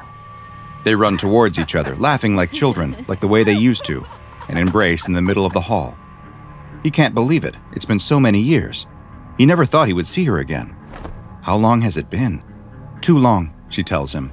He can't believe how little she's changed. The years have hardly taken any toll on her. She's just as lovely and beautiful as that last day he saw her. He asks her where she's been, what she's been doing. Is she married? She tells him no, and that after they lost touch, she feels like she has just been looking for him, waiting for the day she would randomly see him pass by on the street so that they could reconnect. She just never thought it would happen that they'd be working in the same place at the same time. The construction worker can't believe it either. They both start to ask each other something at the same time, but then stop and laugh at speaking over each other. You go first, he tells her. No, you, she responds with a laugh. Just then, they're both interrupted by the sound of a whistle. The work is finished for the day. That's the signal to pack up and go home. The construction worker tells her to wait there. He just has to go grab his tools, and then the two of them can go down together. But as he turns to leave, she reaches out and grabs his hand. Wait, she tells him. He stops and turns back to her. It's okay, he tells her. I'll be right back. But she doesn't seem to want to let go of his hand. Please, not yet, she tells him. I just want you to stay with me. He looks down at his hmm? hand. She's gripping him so tight that it starts to hurt a little. Really, I'll just be a second, he tells her. Then we can go somewhere and catch up but still she won't let go of his hand. I need you, she tells him. She steps close to him, pressing her body against his. She closes her eyes and opens her mouth, and he feels himself doing the same. I've always needed you, she says as their mouths are about to meet. I need you forever. The construction worker screams as the tiny tendrils emerge from the woman's body and plunge into his flesh. He opens his eyes to see the girl he once knew morphing into a writhing mass of fibers, each reaching out towards him. A long tentacle like appendage wraps itself around his legs before whipping up and around his body, constraining him as a second tentacle wraps around his head, stifling his screams before popping his head off of his body. North Korea. It's a country that's shrouded in mystery, whose government, culture, and day to day life is a black box to many foreigners. But there's another secret inside, one that even the SCP Foundation is desperate to get to the bottom of, one that they know as SCP 031. SCP 031 is a massive organism, estimated to weigh more than 7,500 kilograms, that can currently be found in a very surprising location the Ryugyong Hotel, which is located in Pyongyang, the capital of Democratic People's Republic of Korea. The giant creature lives within the ductwork and maintenance infrastructure of the building, where it has spread to all 105 floors of the hotel. Each of its many tendrils ends in a pod like growth called a sporocarp, which are approximately 2 meters in length and covered in many cilia like structures. Subjects have reported that when in the presence of these sporocarp, they don't see them as the writhing mass of organic matter that they really are, but rather as an individual from their past, often with one whom they shared an intense emotional attachment. When taking this form, the sporocarp will try to convince the subject to remain with them for an extended period of time. The sporocarp will then attempt to make physical contact with the subject, and if successful, its cilia like structures will begin injecting digestive juices directly into the subject. This will lead to the start of a process that will eventually cause their flesh to be broken down, consumed, and then incorporated into SCP 031's body mass. Unfortunately for the victim, this horrific process does not kill them. At the same time they are being digested, a flagellum, which is a tentacle like appendage, will emerge from the sporocarp and wrap around the subject's head. This flagellum has its own set of tiny tendrils that penetrate the cranial cavity and replace the victim's brain's blood vessels, which has the effect of keeping the brain alive and functioning. The head is then removed from the body, and the brain is transported to the central mass of the SCP 031 organism, where it too is incorporated into the creature. It is estimated by Foundation researchers that SCP 031's mass contains thousands of such brains, and by all appearances, they are still alive and conscious. The Foundation first became aware of SCP 031 in 1948, following reports of police activity in North Korea at a location where multiple citizens had gathered near a refugee camp. Those gathered were proclaiming their love for a cult like leader they referred to as the Beloved the civilians were able to be calmed through the use of gas based tranquilizers and amnestics by Mobile Task Force Psi 7, who then recovered a mass that would later be known as SCP 031 and secured it at a local containment site. The SCP 031 creature only weighed 75 kilograms at this time and still had a vaguely human shape. It did not seem to be able to incorporate other matter into its form at this point either, nor could it take on other people's forms, with its only anomalous effect seeming to be its ability to inspire intense feelings of love and devotion. The breakout of the Korean War in 1950 led to the destruction of the Foundation containment site, and all anomalies housed there escaped. Following the end of the war in 1953, all of the escaped anomalies were accounted for, all except SCP 031, which was presumed dead. Little more thought was given to the terminated anomaly until 1992, when the SCP Foundation caught wind of reports describing numerous fatalities involving workers at the Ryugyong Hotel. A mobile task force was sent to the hotel to investigate further, but after none of the members returned from the mission, the hotel was locked down and all construction was halted until further notice. By 2008, the increased infestation of the still windowless hotel led to local officials starting construction again to finish the building's exterior and hopefully hide the presence of SCP 031 within, which led to the deaths of even more workers. It's estimated that at its peak infestation, more than 75% of the hotel's 3,000 rooms were infested by SCP 031, but reclamation efforts have been able to reduce that number substantially. Flame projecting equipment is able to destroy SCP 031 tendrils and sporocarps, as well as any personnel who have become assimilated into SCP 031. Reclamation efforts are ongoing, and local officials continue to work with the SCP Foundation to facilitate the ultimate containment or neutralization of the entity. But there's one more strange twist to this story. The more astute SCP experts may have noticed the similarities to SCP 1427, a large slab of beryllium bronze with mind altering effects that is also located within the Ryugyong Hotel. How is it that two anomalies, both of which strongly impact the human brain, are both somehow housed at the same location? Some clues exist in the form of a classified communication chain between two senior members of Foundation staff. The two discuss the obvious discrepancies that exist when there are records of two anomalies both existing at the same place at the same time, with neither file referencing the other. It leads to a strange paradox where, for one to exist, the other isn't able to, and yet they both do exist. Teams sent to investigate SCP 1427 will find SCP 1427, and teams sent to investigate SCP 031 will find SCP 031. And yet, the first team will have no memory of seeing SCP 031, and vice versa. When the teams were sent at the same time, they were unable to find each other, as if they were existing in parallel dimensions, each with its own version of the Ryugyong Hotel housing its own version of an SCP classified anomaly. Do both anomalies exist? Or perhaps neither of them do? Are both SCPs in fact the result of a third, as yet unknown anomaly? The answer to that question remains unknown, at least to the two senior members of the staff who were communicating about the contradictory files. Both were relieved of their duties under well, suspicious circumstances. And for the time being, both files continue to exist in the database, just as both anomalies seem to exist in the Ryugyong Hotel. For now, this Euclid class anomaly continues to be contained as well as it can be within the ducts and maintenance shafts of the hotel's central spire. The three secondary spires each contain a Type 9 Heaven's Blade restriction system that focuses a disruptive energy field towards the central spire. This system prevents SCP-031's psychic energies from escaping the structure and affecting any off-site personnel, as North Korean teams continue to push back against the spreading tendrils in the hopes that one day they will finally be able to open the hotel. Three SCP Foundation agents stand before a large warehouse. Their mission is simple. Enter the building, find the observation unit that has gone missing inside, recover the data from it, and leave. It should be easy, but the rundown structure they're standing in front of is no ordinary building.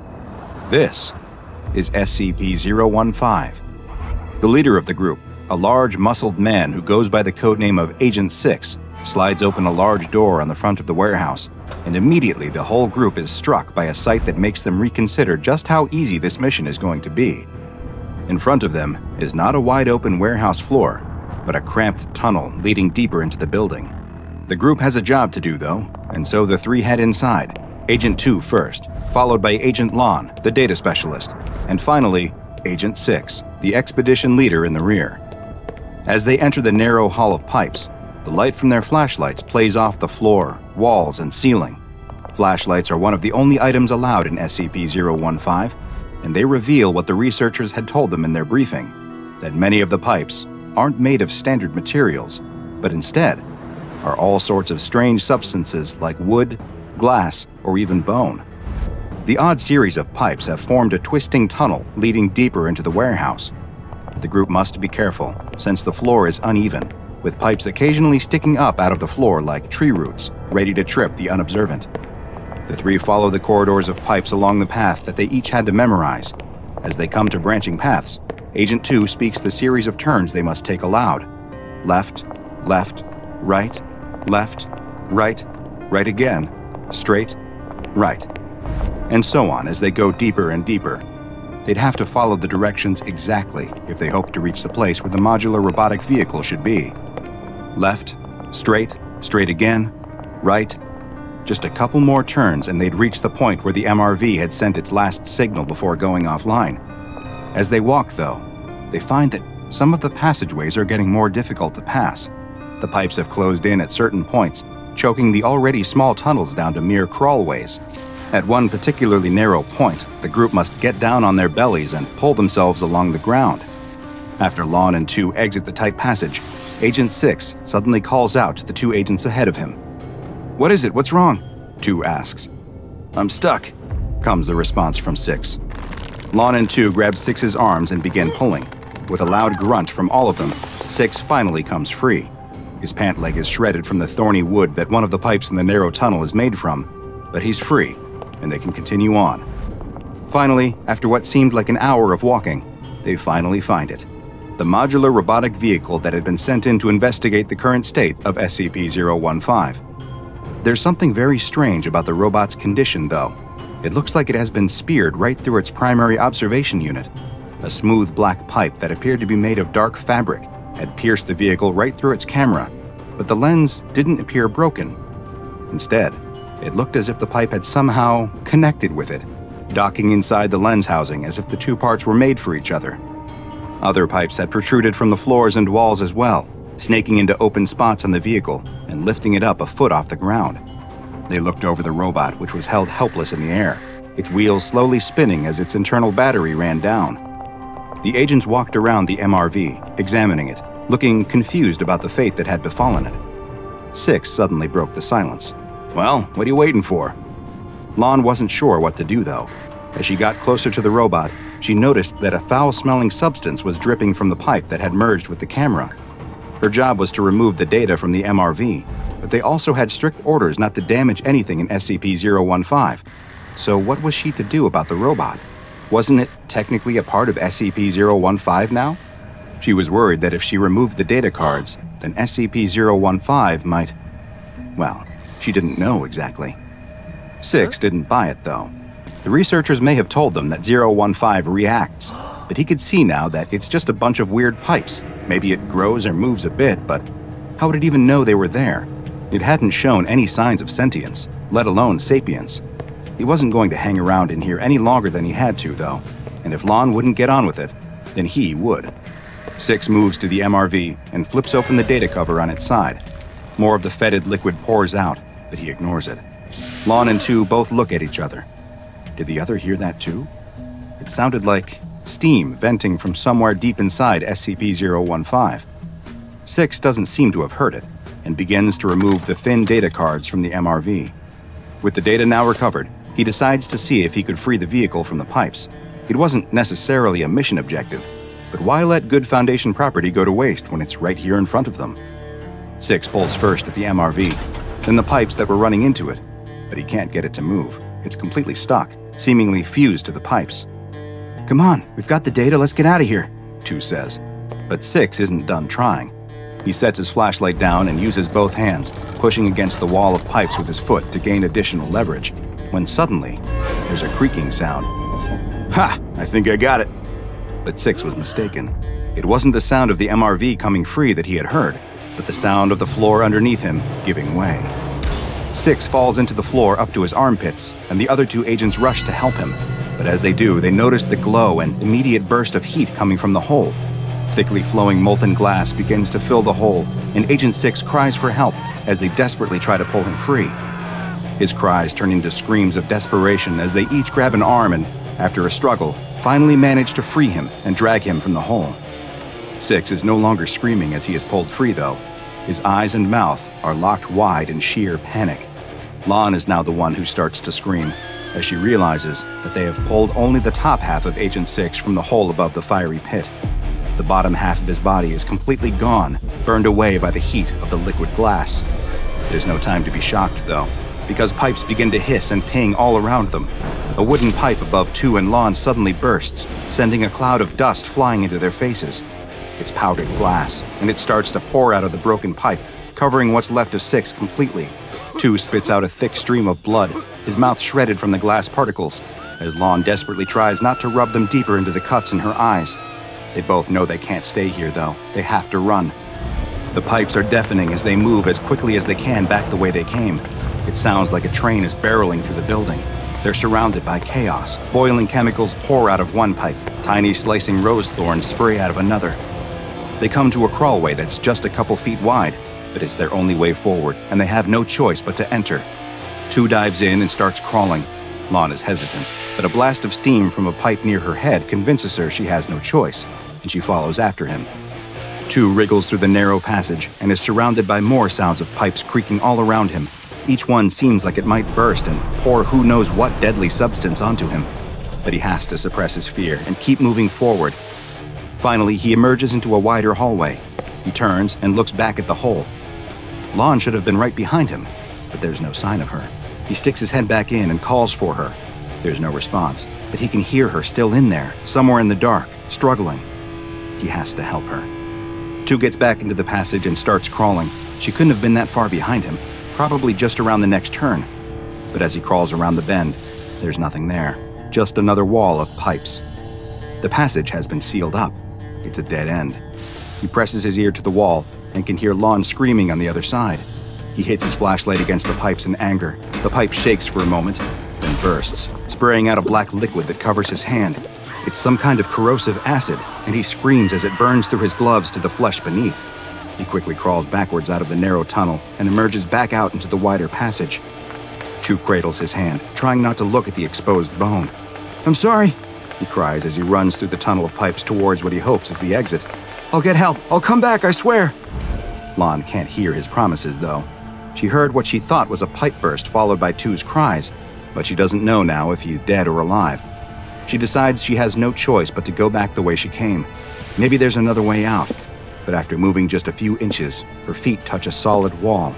She's trapped in a space no bigger than a coffin. She feels around, but there's nothing here in the dark. Nothing at all. Just smooth, fuzzy, warm pipes. No, wait, there is something. A gap in the ceiling. But it's just the open end of another pipe. And now, there's something dripping out of it.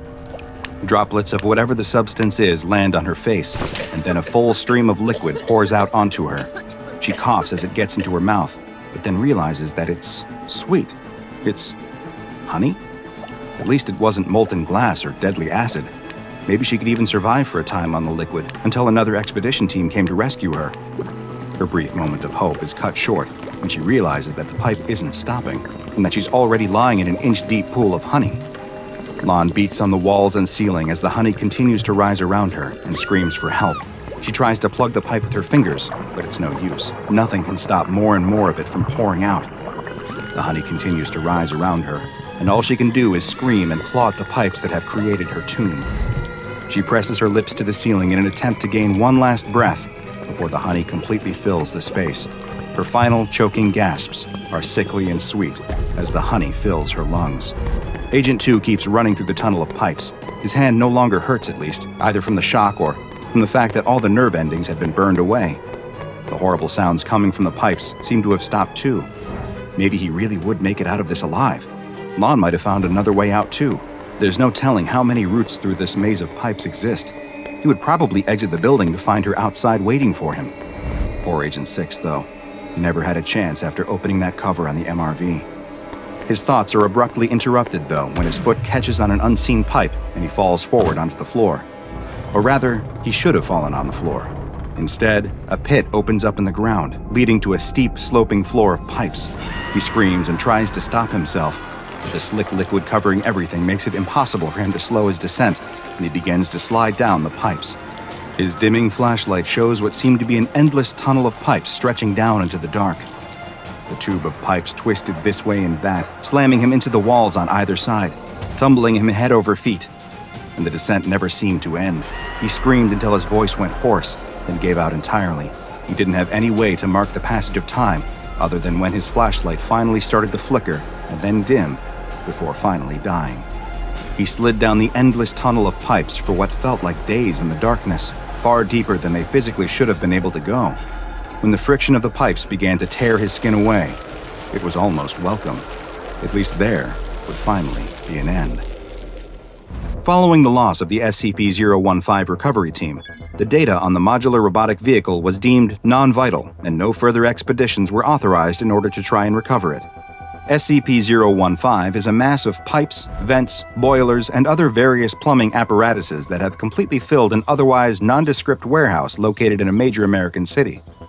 Anytime the warehouse is not being directly observed, the pipes will begin to grow, filling nearly all of the available space in the building, but also trying to connect to other nearby structures through the sewer and other subterranean infrastructure systems.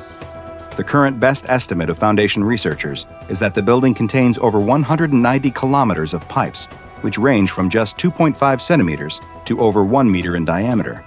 While some of these pipes will look new, Others have the appearance of being rusted or damaged, with many showing signs of leaking. The pipes are made of a strange assortment of materials as well, including bone, wood, steel, pressed ash, human flesh, glass, and granite. Oddly, no pipes composed of lead, PVC plastic, copper, or any other material one would normally expect to be used for the production of pipes have been found.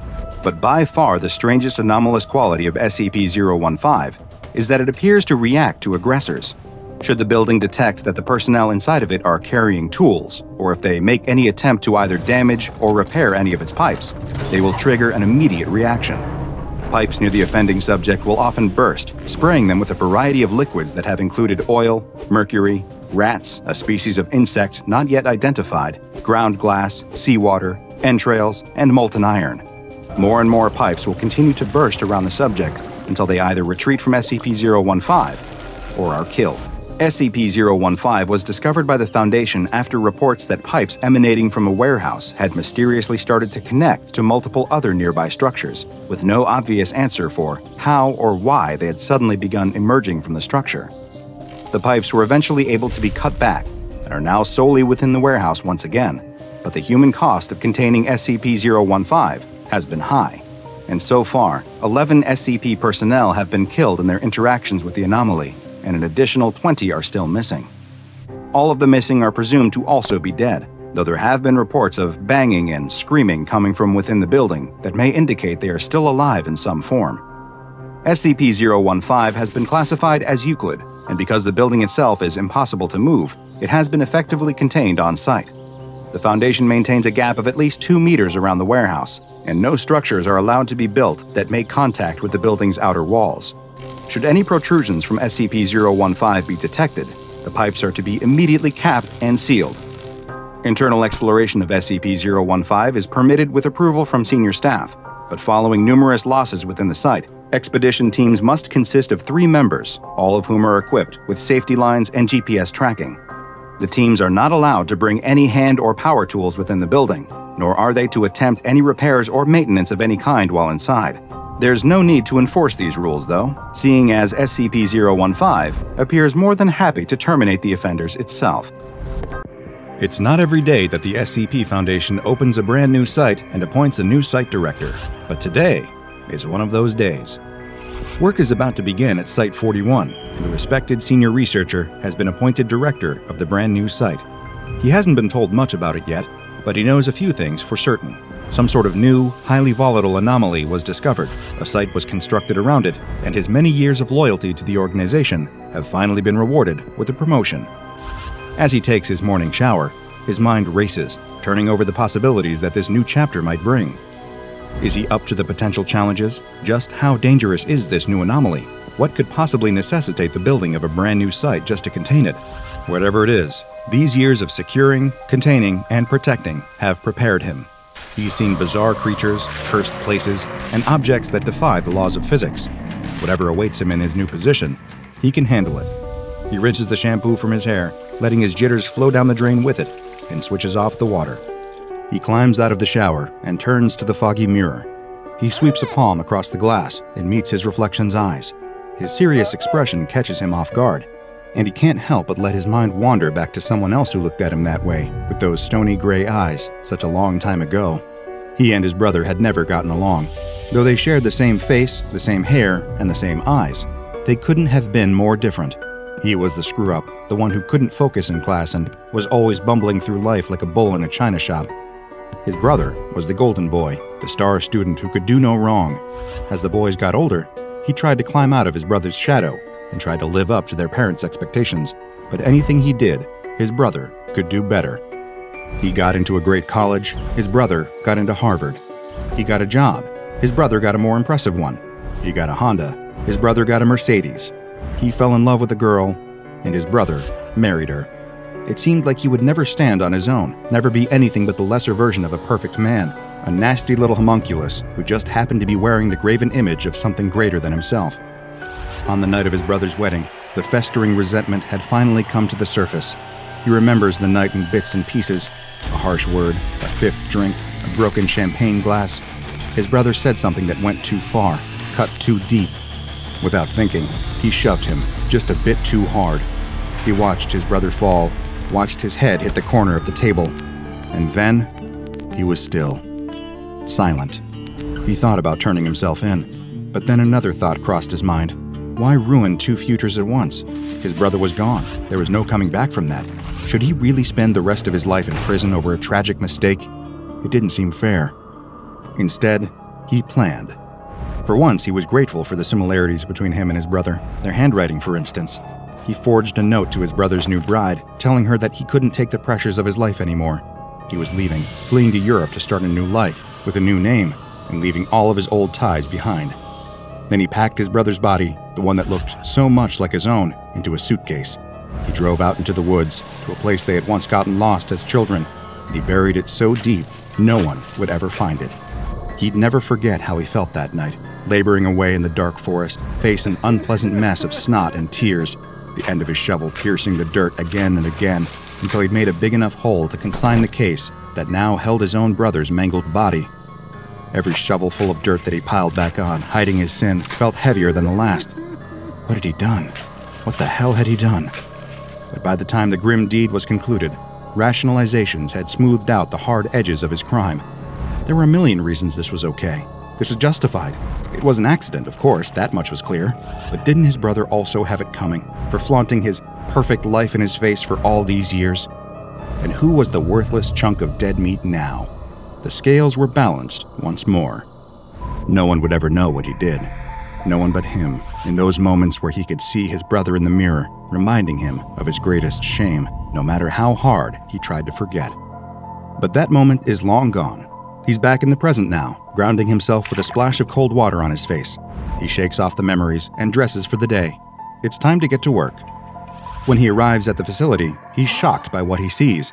It's a castle, grand and imposing, even if the years have not been particularly kind to it. The Foundation did not build this structure, though they've set up shop inside now. His reminiscence has made him late, and he hasn't even had a chance to look over his paperwork yet. But when you're a site director, what does it even matter if you're a little late? You're the boss, the head honcho. The party doesn't start until you walk in. Just the thought of it is enough to make his chest swell with pride.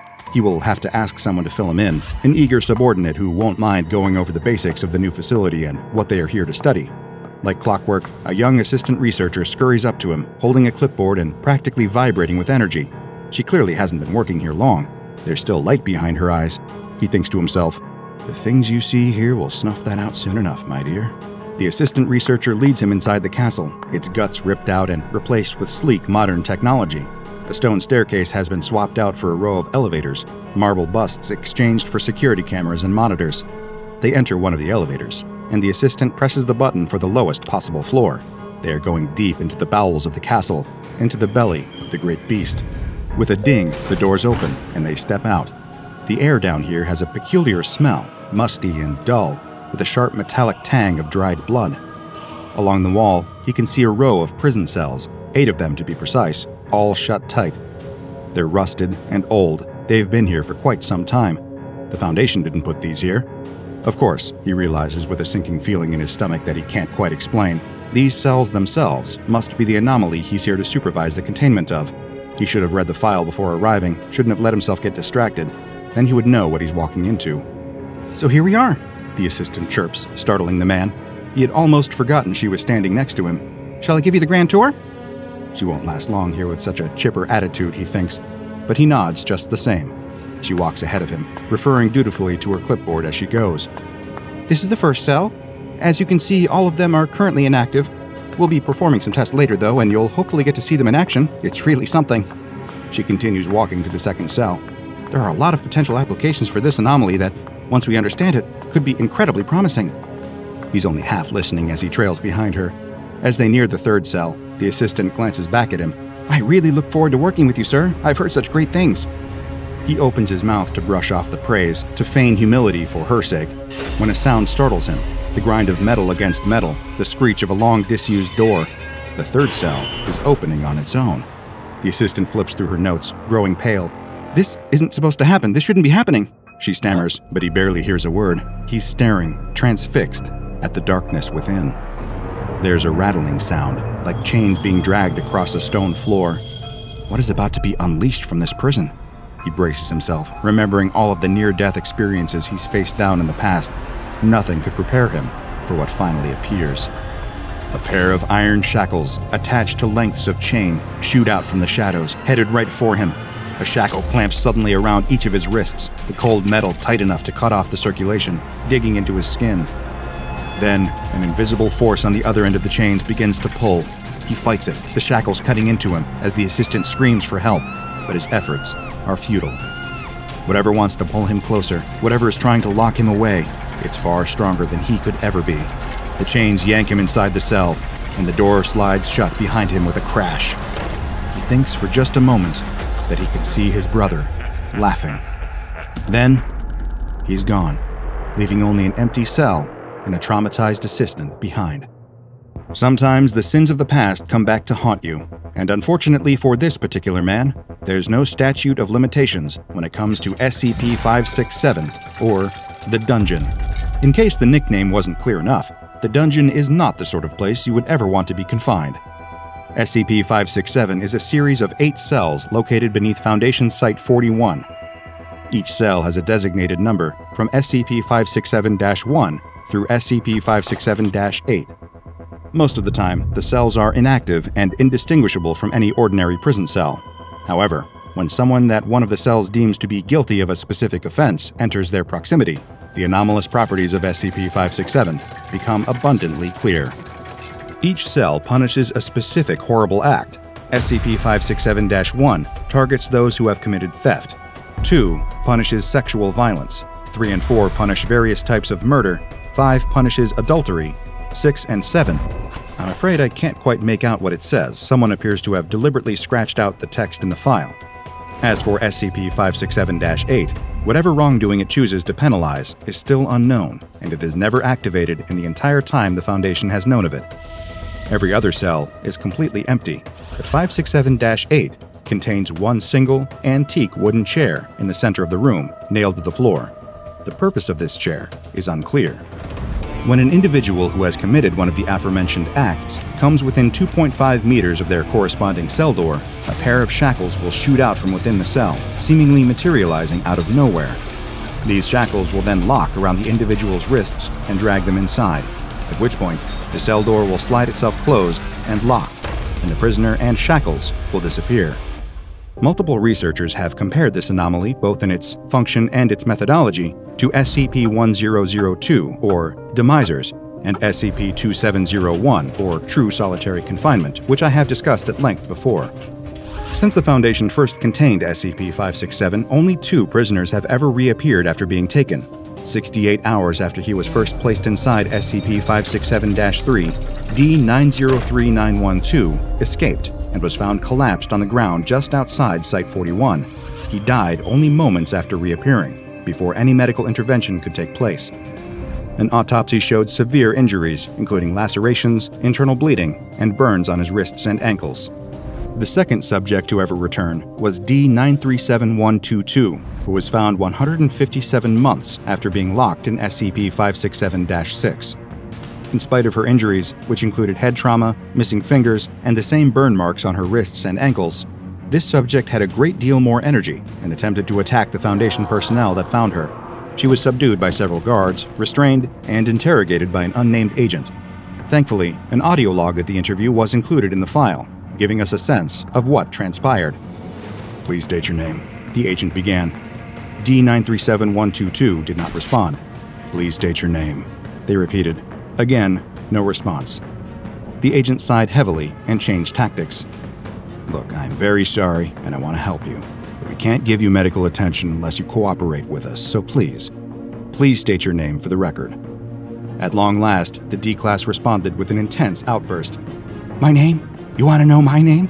Screw my name! There is no name, there is no anything! But, but there is. I escaped. I got the medal off. None of the and here the audio was corrupted to the point where I couldn't understand what was being said. After the interference clears, D937122 could be heard shouting, I should be free! Let me go! A struggle followed as she attempted to escape custody. The agent then replied, in an attempt to calm the D class down, I apologize, but now we have the opportunity to. Screw your opportunity. There is no opportunity. There's only escape. You called me a monster. Maybe I am one. But the nightmares, they. She briefly broke down into unintelligible mumbling before returning to normal speech. Compared to their crimes, I've done nothing wrong. Nothing at all. I haven't done anything wrong. Nothing. At this point, the D class became inconsolable, all coherent speech dissolving into sobs. The agent attempted to calm her down, but she remained hysterical. After several moments of sobbing, the D class began to gasp as if she was having difficulty breathing. She clutched her chest and began to go into apparent cardiac arrest. The agent attempted to administer CPR, but it was unsuccessful, and after a few minutes, she was dead. An autopsy was ordered following the interview, which revealed the apparent cause of her death. Her body was covered with tiny punctures, and a toxicology report revealed an unknown poison in her bloodstream. Though only two people have ever emerged from SCP 567, they were not the only organic life forms to break out of the dungeon cells. Every so often, the doors of a cell will open and an entity will emerge. These creatures are given the designation SCP 567 9, and they are always aggressive. They do not usually match the description of any existing animal, instead, appearing to be some sort of undiscovered creature. Once an instance of SCP 567 9 has escaped its cell, it will attempt to leave the dungeon and attack anything that gets in its way. The first instance of SCP 567 9 observed by the Foundation was a four limbed creature approximately 2 meters in length. It walked on all fours, but had human like hands on its front limbs, complete with opposable thumbs and sophisticated enough mobility to operate machinery. It was highly intelligent and used this intellect to take out 14 Foundation operatives before it was contained. The details of SCP 567 9 2 have been stricken from any official documentation. The only thing I can surmise from the file is that nine personnel were killed after it appeared, and one of the agents that helped contain it requested and received psychological counseling for what they experienced during the process. So, whatever it was he encountered, it wasn't anything good. During a round of routine testing with SCP 567 4, while the cell door was open, an instance of SCP 567 9 appeared, attacking and killing the researcher leading the tests. The entity was not contained, but after seven casualties, was lured back towards its original cell. At this point, the cell deployed its shackles, and the creature was pulled back inside. The most recent instance of SCP 567 9 emerged when the door to SCP 567 7 opened and closed spontaneously. This was spotted on the CCTV footage, but none of the security monitoring the video could see anything leaving the cell. Two weeks later, an agent assigned to the dungeon was found dead in his home, still in bed. The circumstances of his death were virtually identical to those attributed to SCP 966, a nightmarish species of creature known as the Sleep Killer, which I've discussed here on the channel before. When the escaped entity was found in Site 41, it was found to resemble an instance of SCP 966, with only a few variations. It was successfully contained, and the on site security cameras were upgraded to prepare for future anomalies like it. Though many specifics are missing from the file, including the exact appearances of the creature that emerged from the cells, I have deduced one thing. Wherever SCP 567 is transporting those it deems guilty, it is a prison for monsters of all species. Humans are not the only ones it wishes to hold accountable for their crimes. As I was reading about the dungeon and the various tests involving it, a rather morbid question came to mind. What would happen to a test subject guilty of more than one crime? Which cell would claim them? Well, fortunately for my curiosity, and unfortunately for him, one D class found out. D834200 was used as a human test subject during initial studies of SCP 567. He was placed in front of SCP 567 6 and 7. Almost instantly, the cells rattled open, and the shackles shot out to grab him.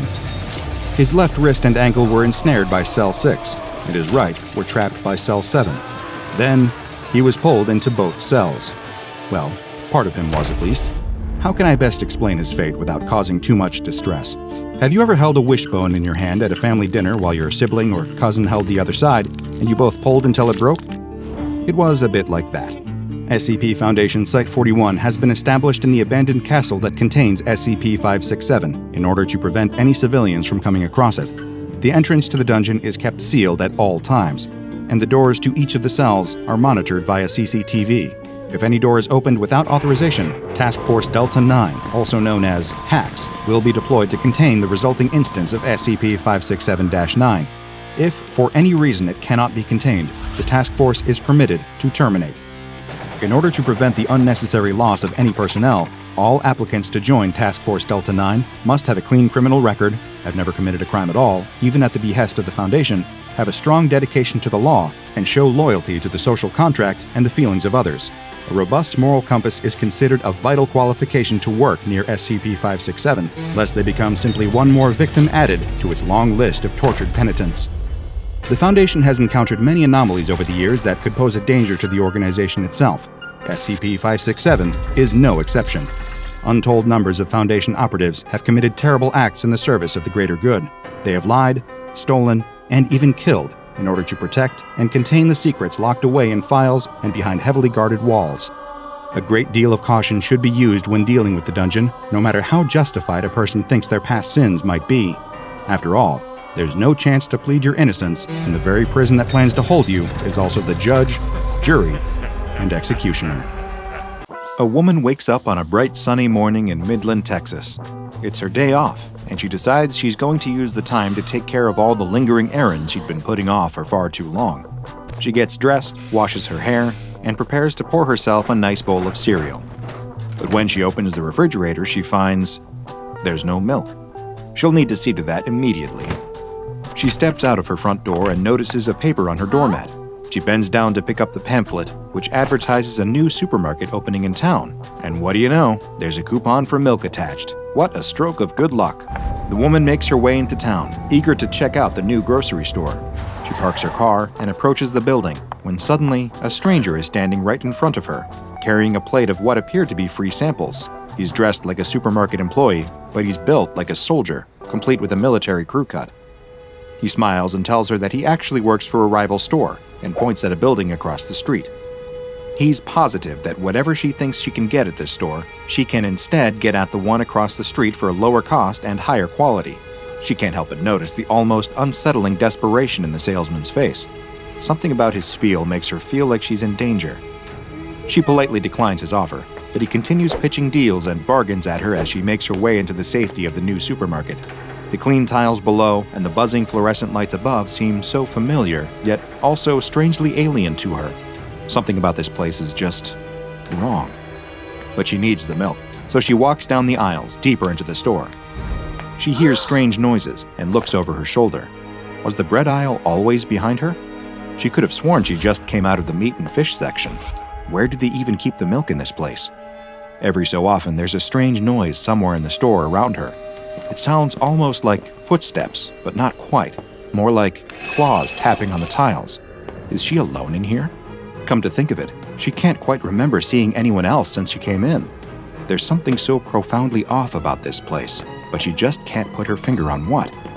She takes a step forward, and suddenly the floor gives way beneath her. The tiles separate with a whir of mechanized gears as a trap door opens up. In an instant, she's tumbling down into darkness, as she falls, she can see the white light beaming in from above illuminate the edge of something metal and razor sharp. In the store above, the sound of a scream can be heard, and the soft squish of metal piercing flesh, followed by the gurgle of blood, and then the trap door closes.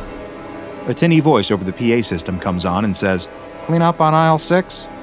The woman is never seen again after that. What superficially appears to be an independent supermarket in Midland, Texas, actually contains a number of strange and often deadly paranormal secrets, and that doesn't even stop it from being a successful and popular supermarket. But the weirdest part of all? It's all perfectly legal, thank you very much. Welcome to Yeah, We're Totally Going to Sell You This, or as it's known to the SCP Foundation, SCP 4703. The primary anomalous effects surrounding SCP 4703 affect not its customers, but the very legality of its own existence and operations. The anomalies shift laws to make everything that goes on inside legal, no matter how unethical or dangerous. It also often reshapes laws to protect its own interests from outsiders, and anyone who breaks these laws may experience spontaneous attacks from violent animals, the most common of which are vicious lions. Here are a handful of the unethical and dangerous, yet perfectly legal, thank you very much, things that go on within the confines of SCP 4703. The stacks of shelves are mounted on powerful pneumatic actuators that seem to shift and spin of their own accord. While this has the intention of keeping the store varied and stopping customers from leaving, it more often causes serious injury with its sudden movements. Occasionally, these sets of shelves will collide, crushing whatever is stuck between them. If a child becomes lost or separated from their parents while they're inside the store, the child is forcibly detained, and the parent or parents can only get their child back by either paying an upfront cost of $47.67 in cash or submitting to have their eyebrows permanently removed with laser follicle surgery.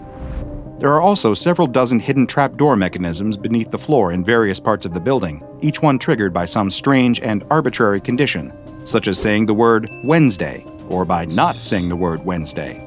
The triggers are updated each day and displayed on the store's website in several dead languages, including Latin, Koine Greek, Phoenician, and Punic. Each of these trapdoors drops into deep shafts filled with some kind of hazard, such as spikes, glitter, or poisonous snakes. Yes, that's poisonous, not venomous. The snakes are only dangerous when eaten, but victims have reported that they seem incredibly appealing, which makes resisting them rather difficult. A section on the far side of the store is marked Starving for Savings and Discounts ad Bestias, where all the products are fenced off and also marked down by 70% or more. However, the products are guarded by no less than 15 hungry lions. Store branded fishing rods, telescopic grabbing mechanisms, and drones are available to rent for the explicit purpose of retrieving items remotely, although this will result in far higher costs, so you will have to brave the lions in order to attain those incredible deals. There's also a roughly 5% chance that after checkout, your cashier will ask you to kiss them on the lips. If you refuse, they'll burn your purchases in front of you, and you won't receive a refund. If you do kiss them, there's a 1 in 3 chance that the cashier will have an anomalous toxin on their lips that will cause you to drop dead instantly. And every day, at an arbitrary time between the hours of 3 p.m. and closing time, the lions will be released from the discount section to roam the store, and only two checkout lines will remain open. All items will be free during this period, but they must be scanned one by one. The SCP Foundation is currently exploring links between SCP 4703 and two other anomalies like SCP 2030 and SCP 1459, the former being the cursed hidden camera show Laugh is Fun, and the latter being a nightmarish vending machine that murders puppies and dispenses a variety of cookies in exchange. So then, if it is so dangerous, why doesn't the SCP Foundation simply block access to Yeah, we're totally going to sell you this? Unfortunately, thanks to the anomalous legal effect created by SCP 4703, the Foundation can't just storm in or physically contain the building, so instead, they attempt to divert as many customers away from 4703 as possible. To do this, the Foundation has started a rival supermarket across the street, named Super Competitive Prices LLC. Sheldon M. Katz Esquire is an SCP Foundation lawyer and bureaucromancer, a thaumatologist skilled in the art of interfacing with anomalously bureaucratic SCPs, and he is spearheading the Foundation legal team's efforts into combating SCP 4703. Untangling the complex web of legality around SCP 4703 is a full time job, after all, and in the following memo, Mr. Katz did all he could to articulate the sheer enormity of the problem they're dealing with. He writes Counteraction of SCP 4703's legal anomalies is a top level priority for our department, and we are making every effort to resolve the matter in a way which minimizes loss of life and economic detriment. We have received a significant number of inquiries regarding the mechanism of SCP 4703's indisputable legality. Unfortunately, there are no easy answers. Law is a human concept, it exists on paper because we write it down. It exists in practice because we enforce it. Generally, we interpret and exercise the law through the scrutiny of semantics, intent, and precedent. Yet, bureaucratic hazards such as SCP 4703 are not necessarily predicated on such things. In fact, the law as most know it has very little to do with the matter. While it's not a perfect comparison, one could say that baseline law is to anomalous law as arithmetic is to algebra. Both are recognized as mathematics, but the latter is more abstract. Imagine that Timmy and Sally each have two apples. If Timmy gives Sally his apples, then Sally should end up with four. But she doesn't. She has ten. How can this be? Sally recounts the apples and reenacts the scenario over and over, but there is no mistake. Two and two make ten. It is an incontrovertible fact. You see, even if anomalies are irrational, they are factual, and it is essential that one accepts this if they wish to develop a countervailing methodology. Once Sally accepts that her four apples have become 10, she reevaluates her radix and decides to recount the apples in base 4. Suddenly, the 10 apples are 1 0 apples. 1 0 is 4 in base 4, which is the appropriate number of apples. Eureka! Sally collects another 4 apples, bringing the total to 20, which is 2 0, which is 8, which confirms that her new paradigm aligns with the abnormality. Form follows function according to the function of the form, and at last, everything makes sense. Except none of it does, really. A well behaved reality oughtn't to conflate the concrete with the abstract.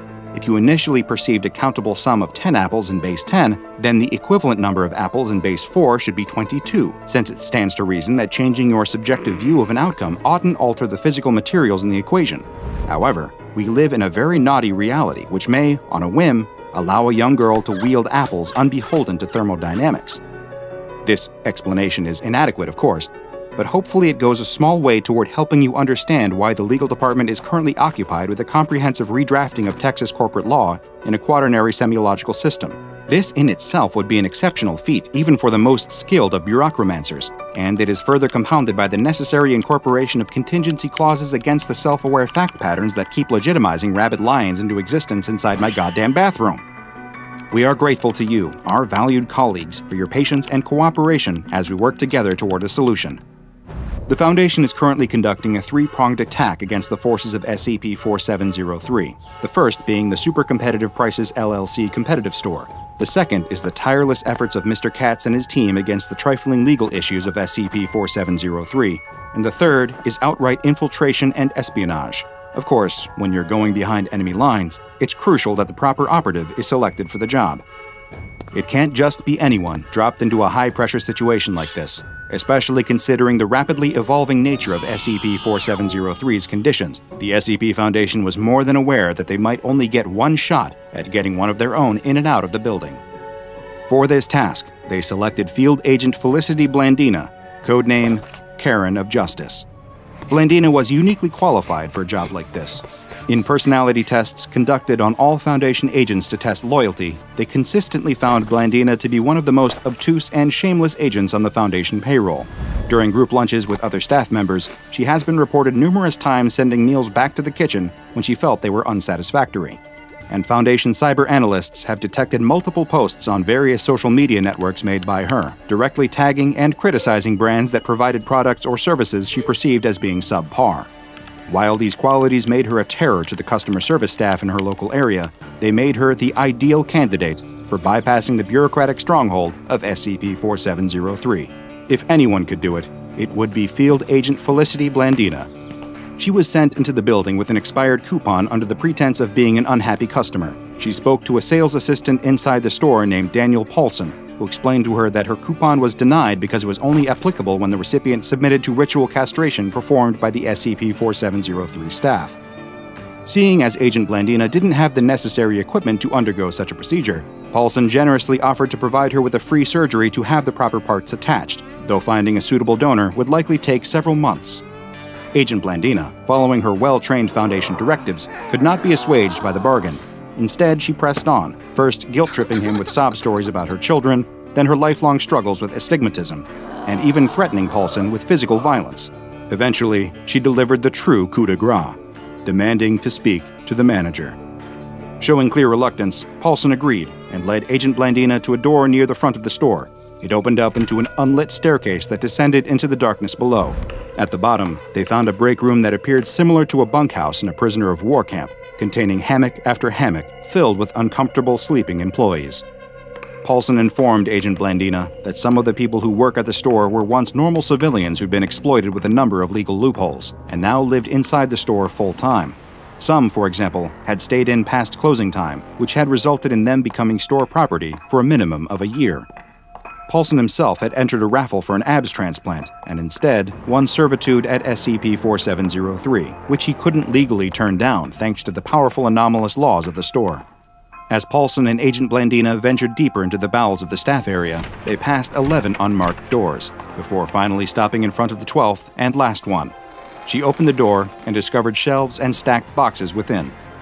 Agent Blandina expressed incredulity at the idea that the store's manager would be kept inside of a supply closet in the basement, but Paulson insisted that this was indeed the manager's office, and as he did, he pulled a string connected to the ceiling. This caused a wall of boxes to split down the middle like a secret doorway, revealing a large executive chair facing the wall on the other side of the room. Still maintaining the cover story that she just wanted a discount, Agent Blandina pressed on and approached the chair. She spun it around to get a better look at the manager and found herself standing in front of a desiccated corpse with no eyes and all of his teeth pulled out, his mouth wrenched open in a permanent, silent scream of terror. Paulson identified this man as Mr. Venatio Haruspice, the manager of SCP 4703. Paulson would have told Agent Blandina that his boss was a corpse earlier, but to do so was against the rules. Agent Blandina sighed and grumbled, I feel like I should have expected this. Paulson assured Agent Blandina that she could still make her complaint, though, and the owner of the store would eventually hear it. As Paulson understood it, the body known as the manager acted almost like a kind of telephone, sending messages through to the owner. The owner would then reply through faxed messages hidden inside the cereal boxes that acted as the only food source of the staff trapped within. This Kafka esque nightmare just kept getting worse and worse, but Agent Blandina refused to give up that easily. Agent Blandina asked him to explain the exact nature of the manager's condition to her. Paulson replied, I know that he's legally our manager. I know that he's, well, what he is. I know that one of us always has to kiss him goodnight at closing time. I know that if we tell him something, the owner knows, but the owner seems to know everything that happens here anyway, so I can't be certain that's related. What else? I know that he's empty, or hollow, actually, hollow's probably a better word. Agent Blandina leaned in a little further to see what exactly Paulson meant by that, only to make a horrifying discovery. The manager wasn't a whole corpse, he was just desiccated skin, a husk somehow propped up into the shape of a corpse. When Agent Blandina asked why Paulson specified hollow and not empty, he told her that it was because a noise was sometimes heard emanating from within the skin husk. Agent Blandina wisely refused to put her ear anywhere near the manager's gaping, toothless mouth, and instead fed the hidden microphone she had been wearing down into the husk's throat. Before Paulson had time to remark on the strangeness of this, sirens and alarms began going off all around them, Paulson began to panic, yelling that the lions were incoming, and the duo needed to move quickly to get out of harm's way. Luckily, Agent Blandina was able to escape with only minor injuries, but shortly after her escape, SCP 4703's legality was once again restructured to make it illegal for non employees to enter the employee only areas. The audio that Agent Blandina recorded inside the body of the manager was also analyzed by experts at the Foundation, and they discovered that, when sped up by 75%, the sound was indistinguishable from human laughter. Due to the highly strange nature of this anomaly and its containment procedures, even by SCP Foundation standards, the classes and designations applied to SCP 4703 are equally strange and complex. Knowledge of the file and the anomaly itself is relatively low tier, with restricted Level 2 access permissions. Due to the immense difficulty in keeping SCP 4703 hidden or contained, thanks to its unique legal situation, it has been given the object class Keter. This, however, is where things get even stranger.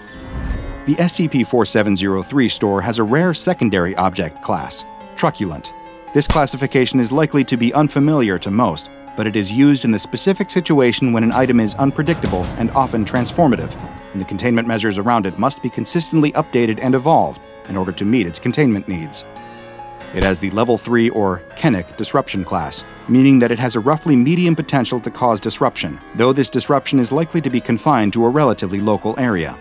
And finally, it has the Risk class Warning, meaning that it presents a high risk to all who interact with it, complete with the possibility of causing severe harm, including death.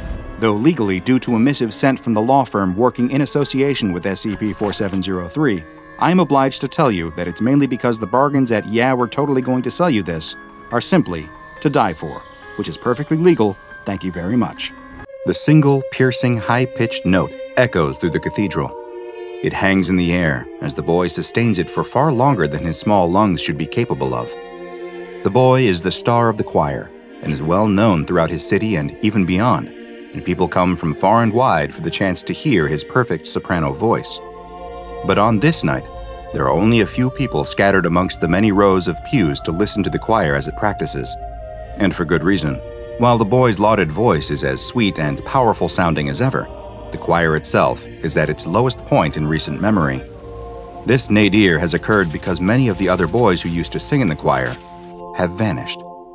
The choir finishes its song, That's All for Tonight, and the boys begin to put on their coats and gather their things from underneath their chairs.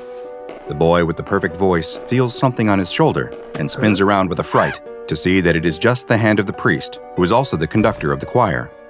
The priest is an old man with a deeply wrinkled yet kind face, and he reminds the boy that he is to head straight home. The boy promises the priest that he will go directly to his house, and the priest reassuringly pats the boy on the shoulder before walking away to give the same advice to each of the other boys. The boy steps out into the dark, cold night as the heavy cathedral doors shut behind him. It's softly raining, and he pulls his coat shut to try to keep out the damp and cold. As the boy begins to walk, he takes note of the closed newsstand across the street.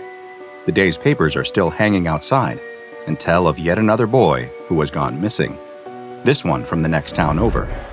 There are still no leads in the cases, and parents have been growing angry with the police over the lack of any progress. As the boy walks down the darkened street, he fails to notice the shadowy figure that has stepped out of a dark alley near the cathedral.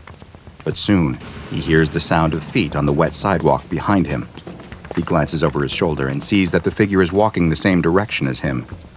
The boy looks back straight ahead, not wanting to draw any more attention to himself, and tries to increase his pace. As the boy walks, his well trained ears quickly detect that whoever is walking behind him has sped up as well. The boy doesn't run, but he feels a surge of real fear begin to rise inside of him. The boy picks up his pace even more, and again hears the person behind him increase theirs. The boy is walking so fast now that if he went any faster, he'd have to break into a run. His house isn't far, though. He turns a corner and he can see it a quaint little home with warm light pouring out through the windows. He knows that inside his mother will be standing in the kitchen cooking dinner. He knows that inside is protection from the night and shadows. The boy looks behind him and sees the figure round the same corner. The boy can't wait any longer and he starts to run. And he sees over his shoulder that the figure has begun to run as well. The boy is sprinting as fast as he can, his feet kicking up water from the sidewalk. He can hear the figure getting closer and closer to him, their long legs outpacing his own with ease. He's so close to his house, though. He's so close to being dry and warm and safe. He slides to a stop on the damp stones in front of the door and reaches out for the handle. Inside the warm little house, the woman cooking dinner is startled by the sound of the door suddenly bursting open. She turns to see an empty doorway. She steps out into the street, but it too is empty. Nothing present but the sound of the wind and the almost imperceptible sound of a single note being sung. A beautiful, high pitched note. What happened to the boy who was once the shining star of the cathedral's choir? And what of the other missing boys? Where did they all go?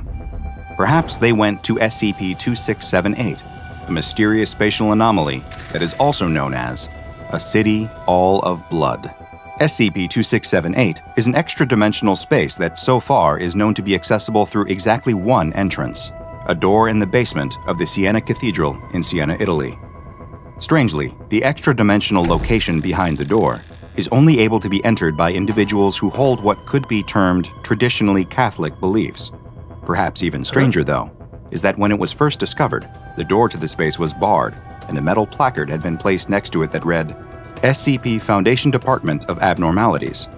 This might not sound especially odd, but it came as quite a surprise to the agents investigating it as there is no record of there ever having existed a Department of Abnormalities within the SCP Foundation. Other than SCP 3790, of course, which is another padlocked room bearing a similar sign, but that file has been locked by the O5 Council, and we will have to save our exploration of that for another time. Back to SCP 2678. Individuals who have Catholic beliefs that enter the SCP 2678 space find that they emerge into a small, tent like structure that appears to be a sort of forward operating base that has been built around the freestanding doorway. The outpost is abandoned, but there still remains a number of strange objects, including a biomedical laboratory grade refrigerator containing numerous samples of blood and bone, various types of audio recorders ranging from old wax strip models to magnetic tape machines, and a computer terminal which, when activated, requests Foundation credentials. However, all attempts to access this computer have been met with failure as it has rejected all attempts for reasons of insufficient clearance. Also found inside the outpost was the score for a previously unknown choral prelude titled Sul Golgotha, which, when translated from Italian, means on Golgotha, with Golgotha being the name of the hill that Jesus Christ was crucified on, according to the Bible. The last object found in the tent was a skeleton, though several bones were missing, including the hip bone and both forearms. Further examination of the skeleton revealed it to have belonged to a young male, though the exact cause of death was unable to be determined, nor was it clear whether the bones had been removed before or after the young man expired. Upon exiting the outpost, visitors to SCP 2678 will find that they are on the outskirts of a gigantic city that is floating in the middle of a red orange void. The city is truly massive, having been measured at being over 300 square kilometers in size, and consisting entirely of cathedrals, palaces, and churches all of which are in the Italian Gothic style of architecture. A never ending rain of a red liquid that was found to be human blood falls on the city at all times and has stained the buildings a deep red color. And while they appear at first glance to be made of marble, analysis has found that all the buildings are actually constructed of human bone. specifically, bones belonging to human males aged 7 to 12. Later tests of the material found within the forward outpost's biomedical refrigerator revealed the stored blood and bones to be samples taken from throughout the city. No life has ever been observed within SCP 2678, though visitors have reported hearing a high pitched, discordant melody that seems to come from somewhere deep within the maze of structures. All attempts to record the sound have failed, as all audio equipment malfunctions when within the space, and playback of recordings results in them having only picked up the sound of the blood rain falling at a very high volume. This explains the various types of audio equipment found in the forward outpost, which were likely used in unsuccessful attempts to record the music. Attempts to trace the source of the melody through the labyrinth like city will inevitably lead to the same building, which is an exact replica of the same Siena Cathedral that the entrance to SCP 2678 is located in. Though it too is made of bone, and has been stained red from the falling blood. And while the outside of the cathedral perfectly matches its real world counterpart, the inside is a different story. Inside the cathedral, one will find only a single large pipe organ. The pipe organ has had its longest pipes, the ones that produce the lowest notes, cut in half, and the corresponding pedal boards torn out. Pressing a key on the organ will produce a note that mimics an adolescent male's voice, and each key has its own unique voice. Just like with a normal pipe organ, a note can be sustained for as long as the key is pressed down, though after a time, the voice emanating from the organ will seem to take on a panic tone. Attempts to determine just how the organ produces the notes have been met with failure, as the organ does not have a wind box, bellows, or blower of any kind, which would normally move air through the pipes. The organ has another effect within SCP 2678 besides just producing sounds, though, as whenever a note is played, the rain falling outside will transform into regular water. No matter how long the note is held and the now regular clear rain falls, though, the buildings will never be washed and always continue to be stained red. Tests were performed on the organ in order to determine just how long it could sustain a single note, and the C7 key was pressed for over 20 minutes, during which time the voice continued to sing out, becoming more and more stressed and panicked sounding as time went on. Finally, at the 23 minute mark, the key itself splintered into pieces, permanently removing the ability to produce that note. The splintered remains of the key were also observed to bleed for several days following this test. Expeditions sent into SCP 2678 have resulted in agents appearing to undergo a number of behavioral changes that, at present, are hypothesized to come as a result of hearing the organ music within. The psychological changes have included an increased appreciation for choir music, an ever stronger belief in structured religion, more trust in authority figures, less trust in those coming from a lower social or economic status, and a reluctance to report crimes committed by fellow members of the SCP Foundation. These changes appear to be permanent as well, as there has been no evidence of them fading with time. Unfortunately, little to no progress has been made in understanding the mysterious and unnerving space, nor what the presence of a Department of Abnormalities forward operating base inside could mean. And so, for the time being, all further explorations within have been cancelled. The doorway in the basement of the Siena Cathedral has once again been barred, with the entrance hidden behind a bookshelf, and the ease with which the extra dimensional location can be contained by the Foundation has resulted in it being given the safe classification. It's June 15, 1995, and it's also one of the most exciting days of the year for a very select group the Cedar Creek Parish Bible Study Group Field Trip a band of 10 friendly faithfuls of all ages, shapes, and ethnicities, borrowing the church bus for the weekend and heading out to the wilderness to admire some of God's creation. What's the point of spending all your days with your nose in the good book if you never appreciate the bounty of nature? As it was said in Genesis 2:15, the Lord God took the man and put him in the garden of Eden to work it and keep it. The group drives 3 hours out of town, along with hiking and camping gear, to a semi mountainous region that the head of the group insists is a beautiful, picturesque location that will feel like a perfect break from the musty old church function room. It would be a wonderful place to remind them all what it was all about the splendid world God put them all on, and all the gifts He gave them. Then God said, Let us make man in our image, after our likeness, and let them have dominion over the fish of the sea, and over the birds of the heavens, and over the livestock, and over all the earth and over every creeping thing that creeps on the earth. As it was written in Genesis 1:26, the group makes their way through corridors of tall, lush evergreens, like pillars that hold up the sky. It's a strenuous walk, but it sure does get the blood pumping. They walk with trekking poles, munch granola bars, and take frequent sips from their canteens. Nobody wants to get heat stroke, after all. They admire the birds perched above, the clutches of wildflowers, and the skittering things in the undergrowth. Everyone is on the lookout for their first deer. But one member of the group, a young man, suddenly notices something out of the ordinary. It looks like a balloon, but one made out of creamy, nut brown deer pelt. It's tied with several strings to a small notebook with no identifying markings, perhaps part of some strange forest arts and crafts project? Very strange indeed. While the others move on, the young man, fueled by his curiosity and comforted by the fact that his young legs could easily catch up with his elders, decides to use his trekking pole to fish the balloon out of the tree branch. The book falls down to the ground with a quiet thud. He picks it up, brushes off the dust, and stows it away in his backpack. It'll make some wonderful fireside reading when they all set up camp for the evening. As the hours drag on and the study group finds themselves deeper in this natural paradise than ever before, they find themselves in a clearing, which they decide is a great area to make camp. Some of them start setting up their tents, while others head out into the trees to hunt down some kindling for the campfire. When they return, one of them is clearly shaken. When others inquire as to why, they simply force a smile and say, It's nothing, just my eyes playing tricks on me. Been a long, hot day. Within the hour, they're crowded around a roaring campfire. Some toast marshmallows, others hot dogs, one of the elder members of the group has somehow materialized an acoustic guitar to belt out an obligatory kumbaya or two. Everything is as it should be. The young man, enjoying the warmth of the fire and his companions, decides to finally take a look at the book he'd rescued from the tree earlier that same day. It's certainly strange. There's no titles, and it isn't attributed to any kind of author, nor are there any chapter headings.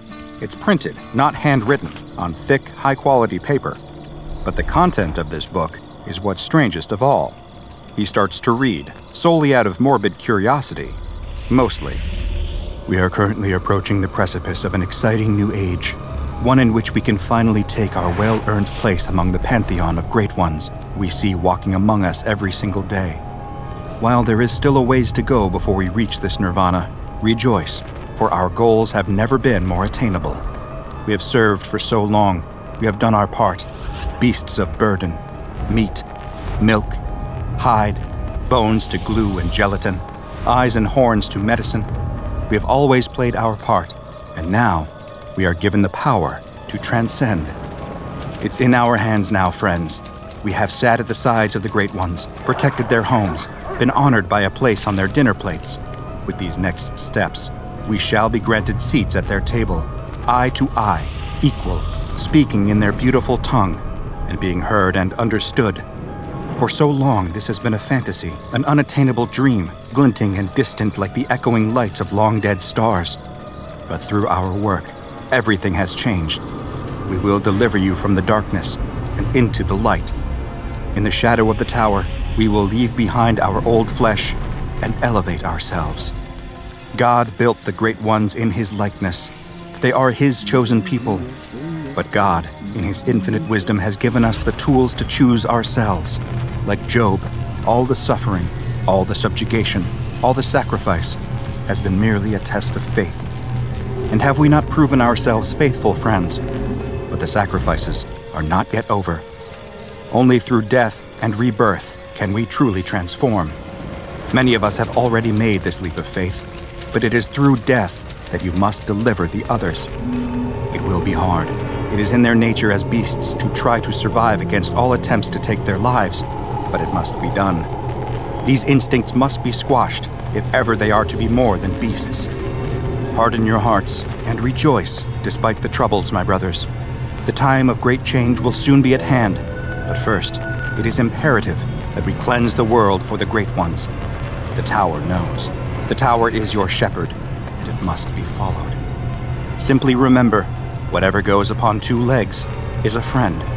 Whatever goes upon four legs or has wings is an enemy. Everything we do, we do in reverence of the great ones.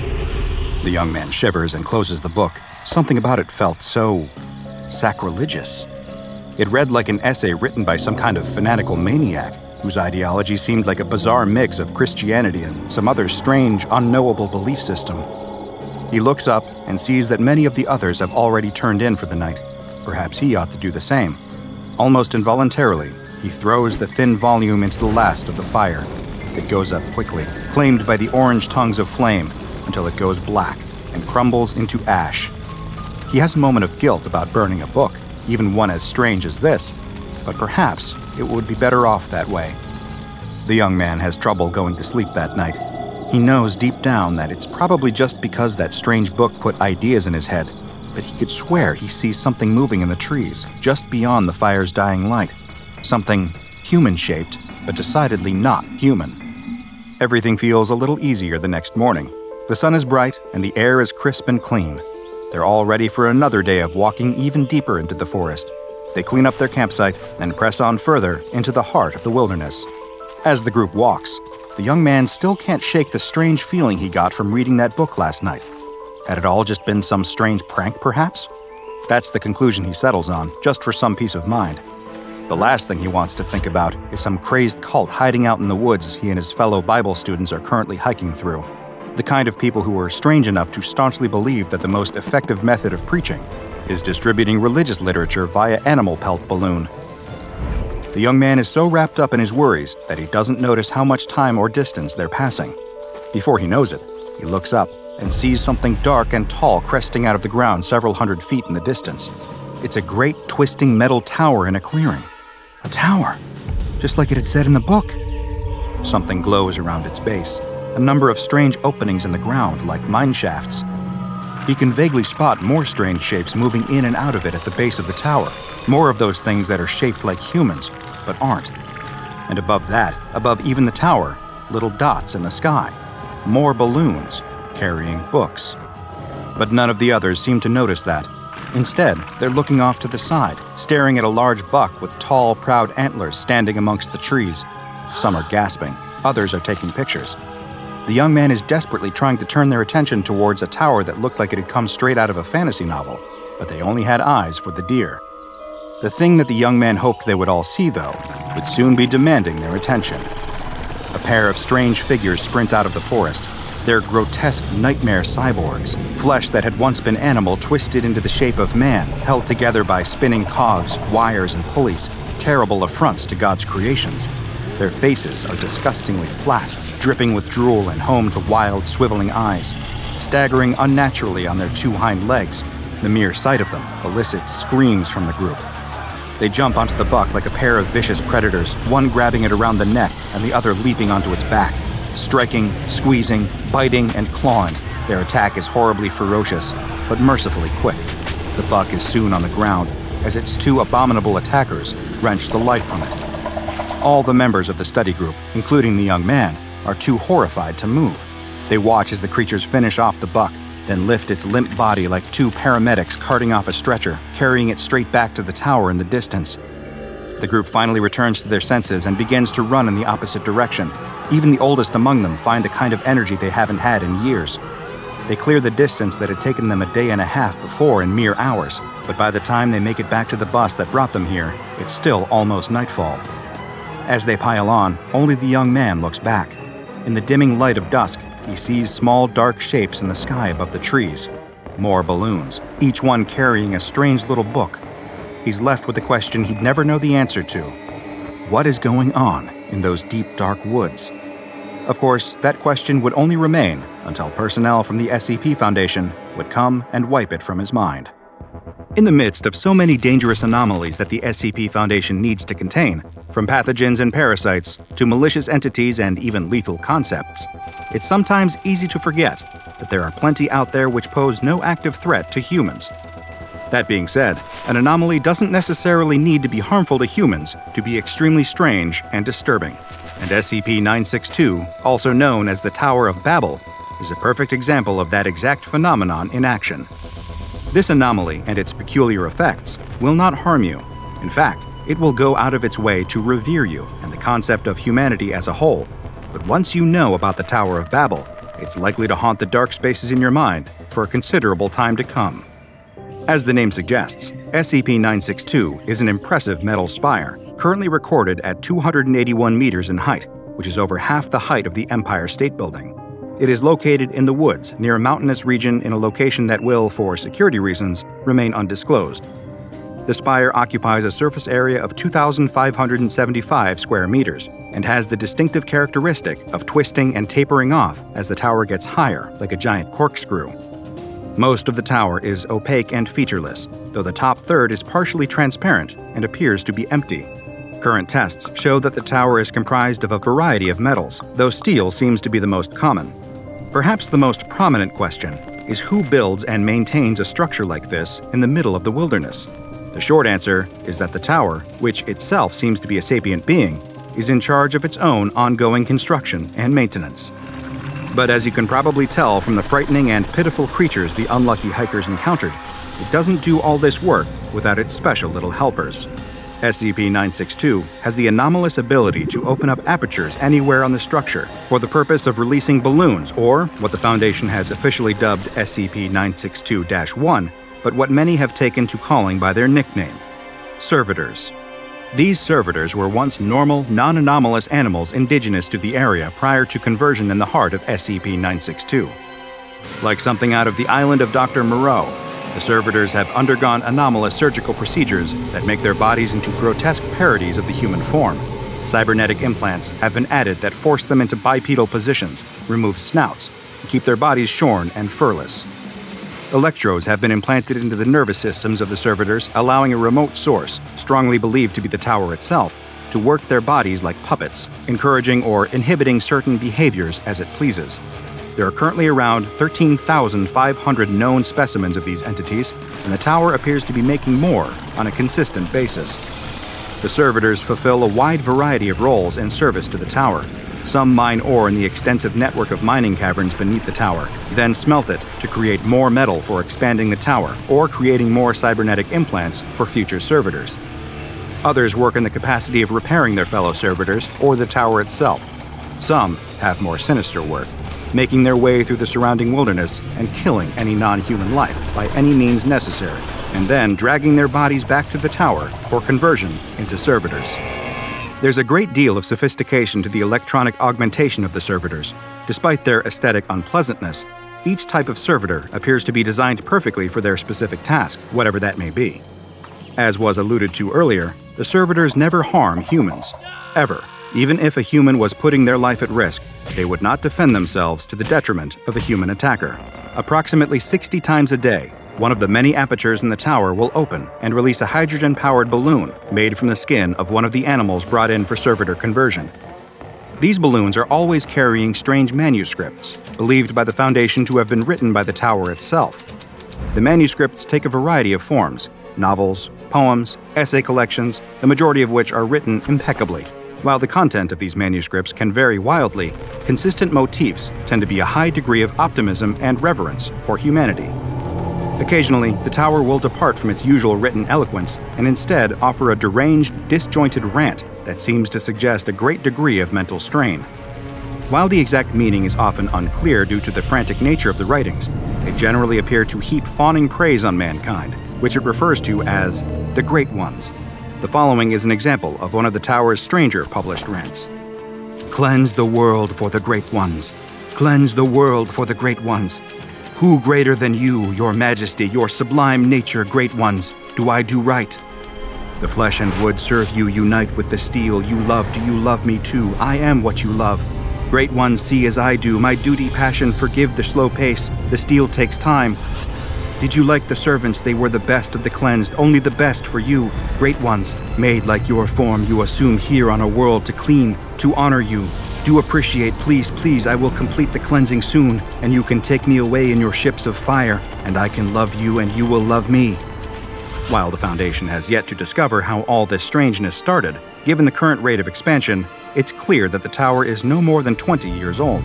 The Foundation is also unsure of what its intention may someday be, but it's not hard to draw certain interpretations. Due to its unpredictability, which leads to the Foundation to expend not inconsiderable resources on its containment, SCP 962 has been given the Euclid containment classification.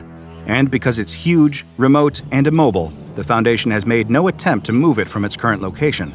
and instead have rerouted all containment resources to studying the anomaly and building a perimeter to prevent public interference.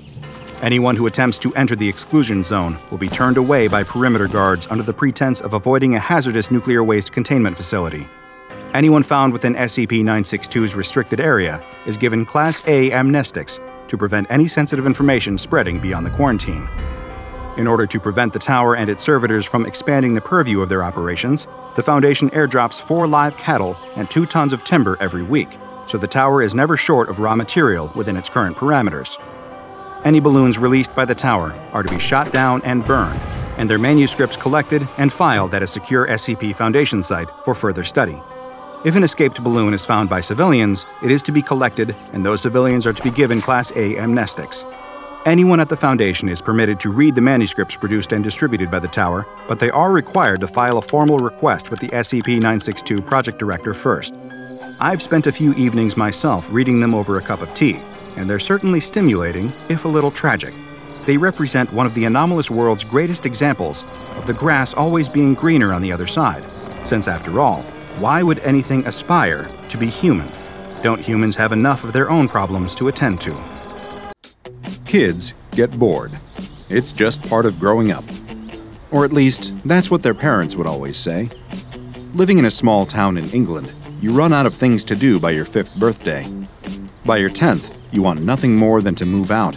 By your 15th, half the kids end up in hospital doing something stupid. The kid entering the churchyard tonight is no exception. As he ducks under the gap in the chain link fence, he catches the corner of his cast on the metal. The cast is already so covered in nicks and scratches that the new tear barely makes a difference. He has been trying to cut the cast off with kitchen scissors for the last three weeks. He'd broken his wrist riding his bike off the roof of his house. It would have worked if it wasn't for the post box being a little too close to the building. His brother calls out to him from up ahead. He's already at the door to the church. The kid hears his best friend shuffling around nervously behind him. He waits for her turn to duck under the fence and follow him into the churchyard, away from the road. Even in the middle of nowhere, in total darkness, the kid can tell she's scared to break the rules. The pair of them rush over to meet the kid's brother at the entrance to the church. The older brother grins at both of them. At 21 years old, he may as well be 41. Towering over the two of them, with a few scraggly chin hairs and a tattoo on his neck, they can't imagine what his life must be like. Going to university in London, driving a car, getting tattoos, drinking alcohol that costs more than 10 quid and doesn't come from the corner store. What a life. There isn't a door to kick open. The church building is in total disrepair. Only the limestone structure is left standing. The windows have all been smashed in long ago, and the pews rotted away, leaving only some moss creeping its tendrils into every nook and cranny. As the three of them make their way inside, they look up to see the starry night sky above their heads, no roof left intact. In fact, the only part of the building that seems to still be half standing is the tower at the far end. Even in the dark, they can still make out a tight spiral staircase hewn into the stone, disappearing up into the collapsing tower. The kid grins. What to explore first? They all split up, wandering around different parts of the church hall. The kid makes a beeline for a toppled in patch of wall he clambers up onto a window ledge and hoists himself up onto the wall, looking down at the other two. A stone gives way under his foot and almost sends him tumbling, but he throws out his broken wrist just in time to balance himself. Across the hall, his best friend is checking her flip phone anxiously. She'd said earlier in the evening that she needed to be back before 1 a.m. or her parents would be worried. It's already 12:45. The kid's older brother calls out across the church. I need the toilet. I'm gonna climb straight to the top of the tower and do it off the edge. Watch out for rain. And with that, he disappears through the little doorway and up the spiral staircases. Very quickly, the sound of his footsteps disappears, leaving the kid and his friend alone together. The kid looks over his shoulder out of the church building. From up on this patch of wall, he is almost at the perfect height to pick an apple from the tree next to them, if he can just stretch out far enough. There, he plucks two apples, one for him and one for his friend. He tosses it to her, but she misses the catch.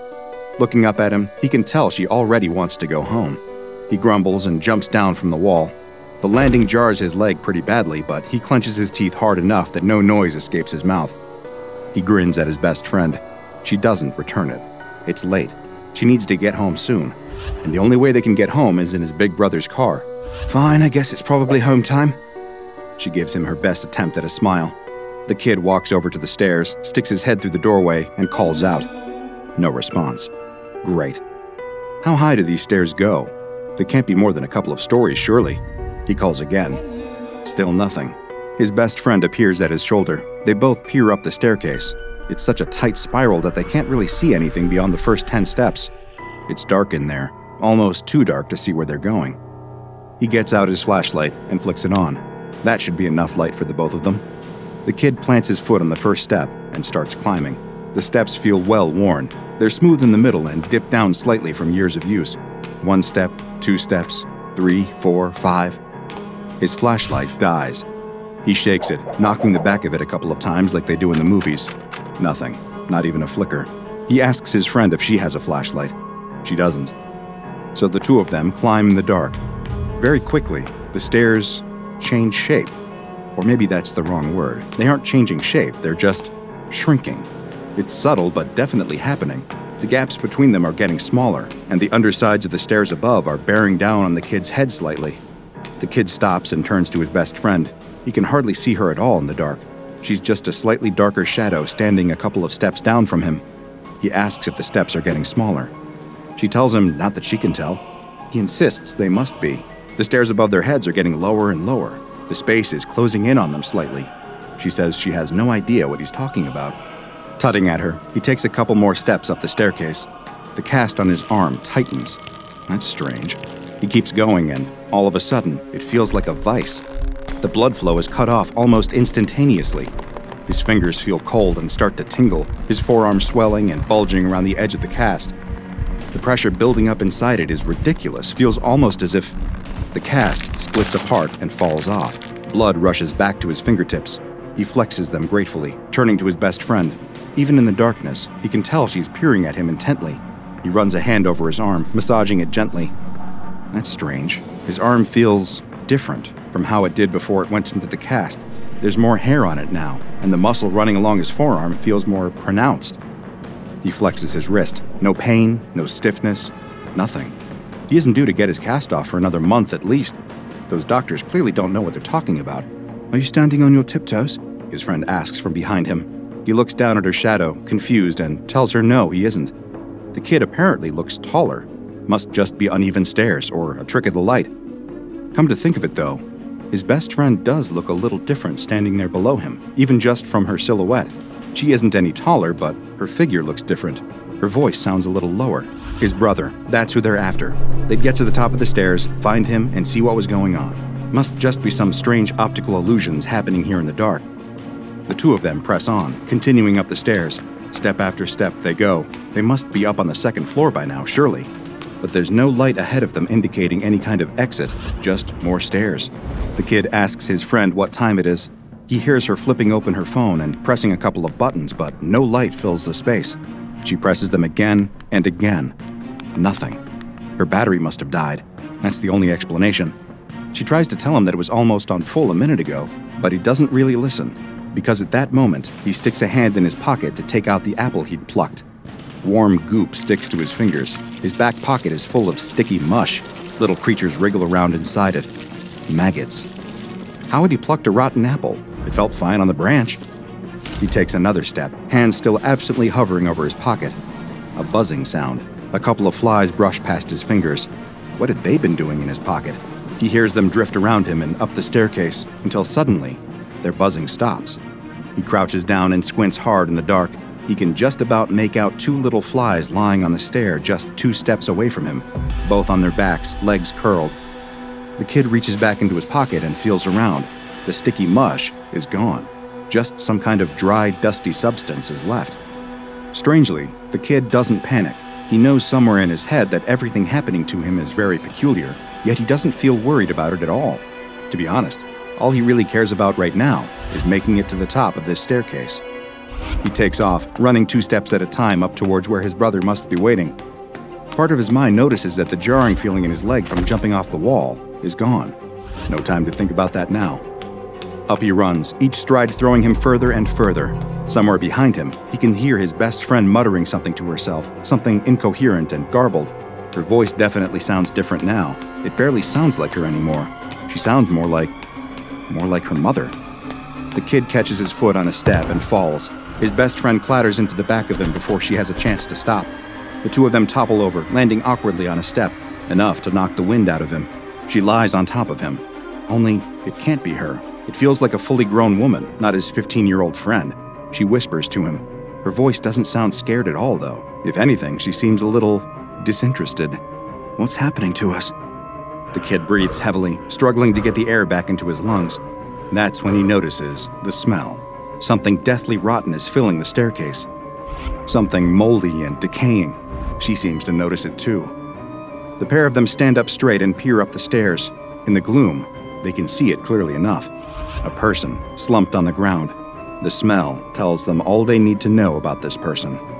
They should run, right now. They should run back down the staircase and out of there. Yet both of them, inexplicably and in unison, continue walking up the stairs, closing the gap on the corpse. It blocks off two whole steps, lying awkwardly on its side, slightly hunched over as if the person had collapsed in a coughing fit. The kid almost slips over. Something small is under his foot, something metallic.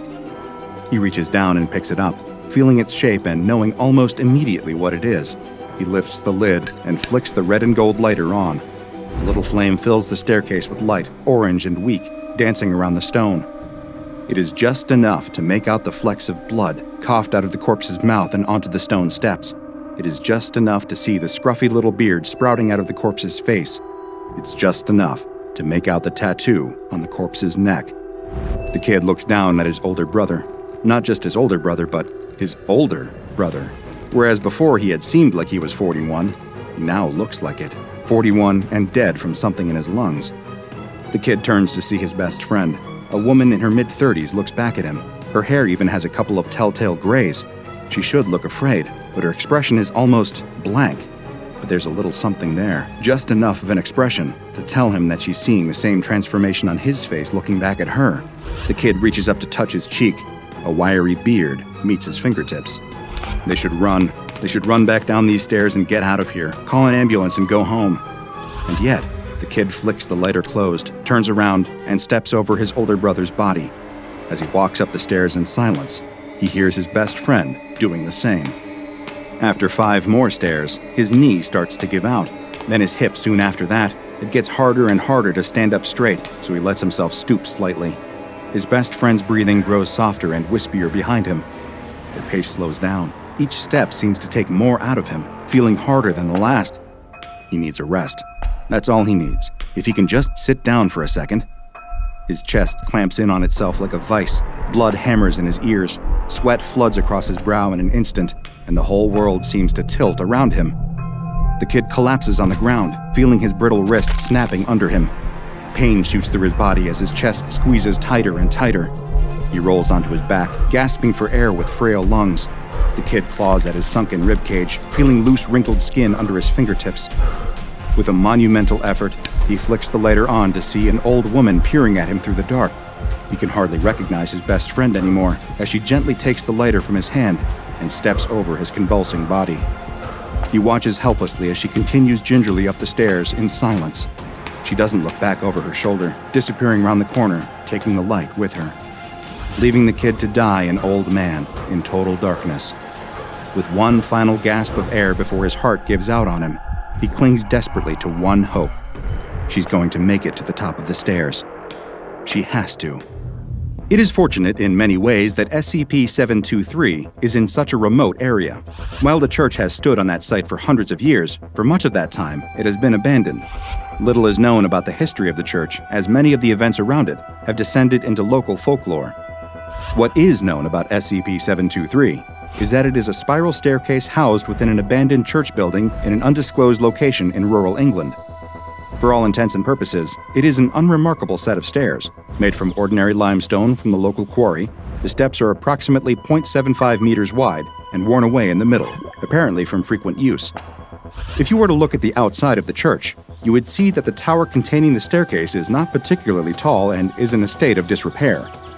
Taking a look inside that tower, however, seems to show the staircase extending up beyond the height of the tower, something that seems on the surface to be physically impossible.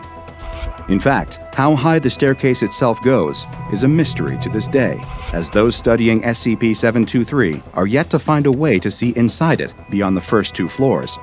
This is because every object, living or otherwise, that ascends up SCP 723 undergoes a rapid aging process. Organic creatures quickly grow older, die, and decompose on their way up the steps. Other objects behave as if a great deal of time has passed. Batteries and electronic devices go flat almost immediately. Decay is accelerated too, meaning wear and tear take place at an alarmingly fast rate. This renders any conventional methods of exploring SCP 723 obsolete. Sound and video recording equipment running on battery power quickly fail, after many attempts with different technology, recording devices linked to a robust cable were created specifically for trying to record footage beyond the first story of SCP 723.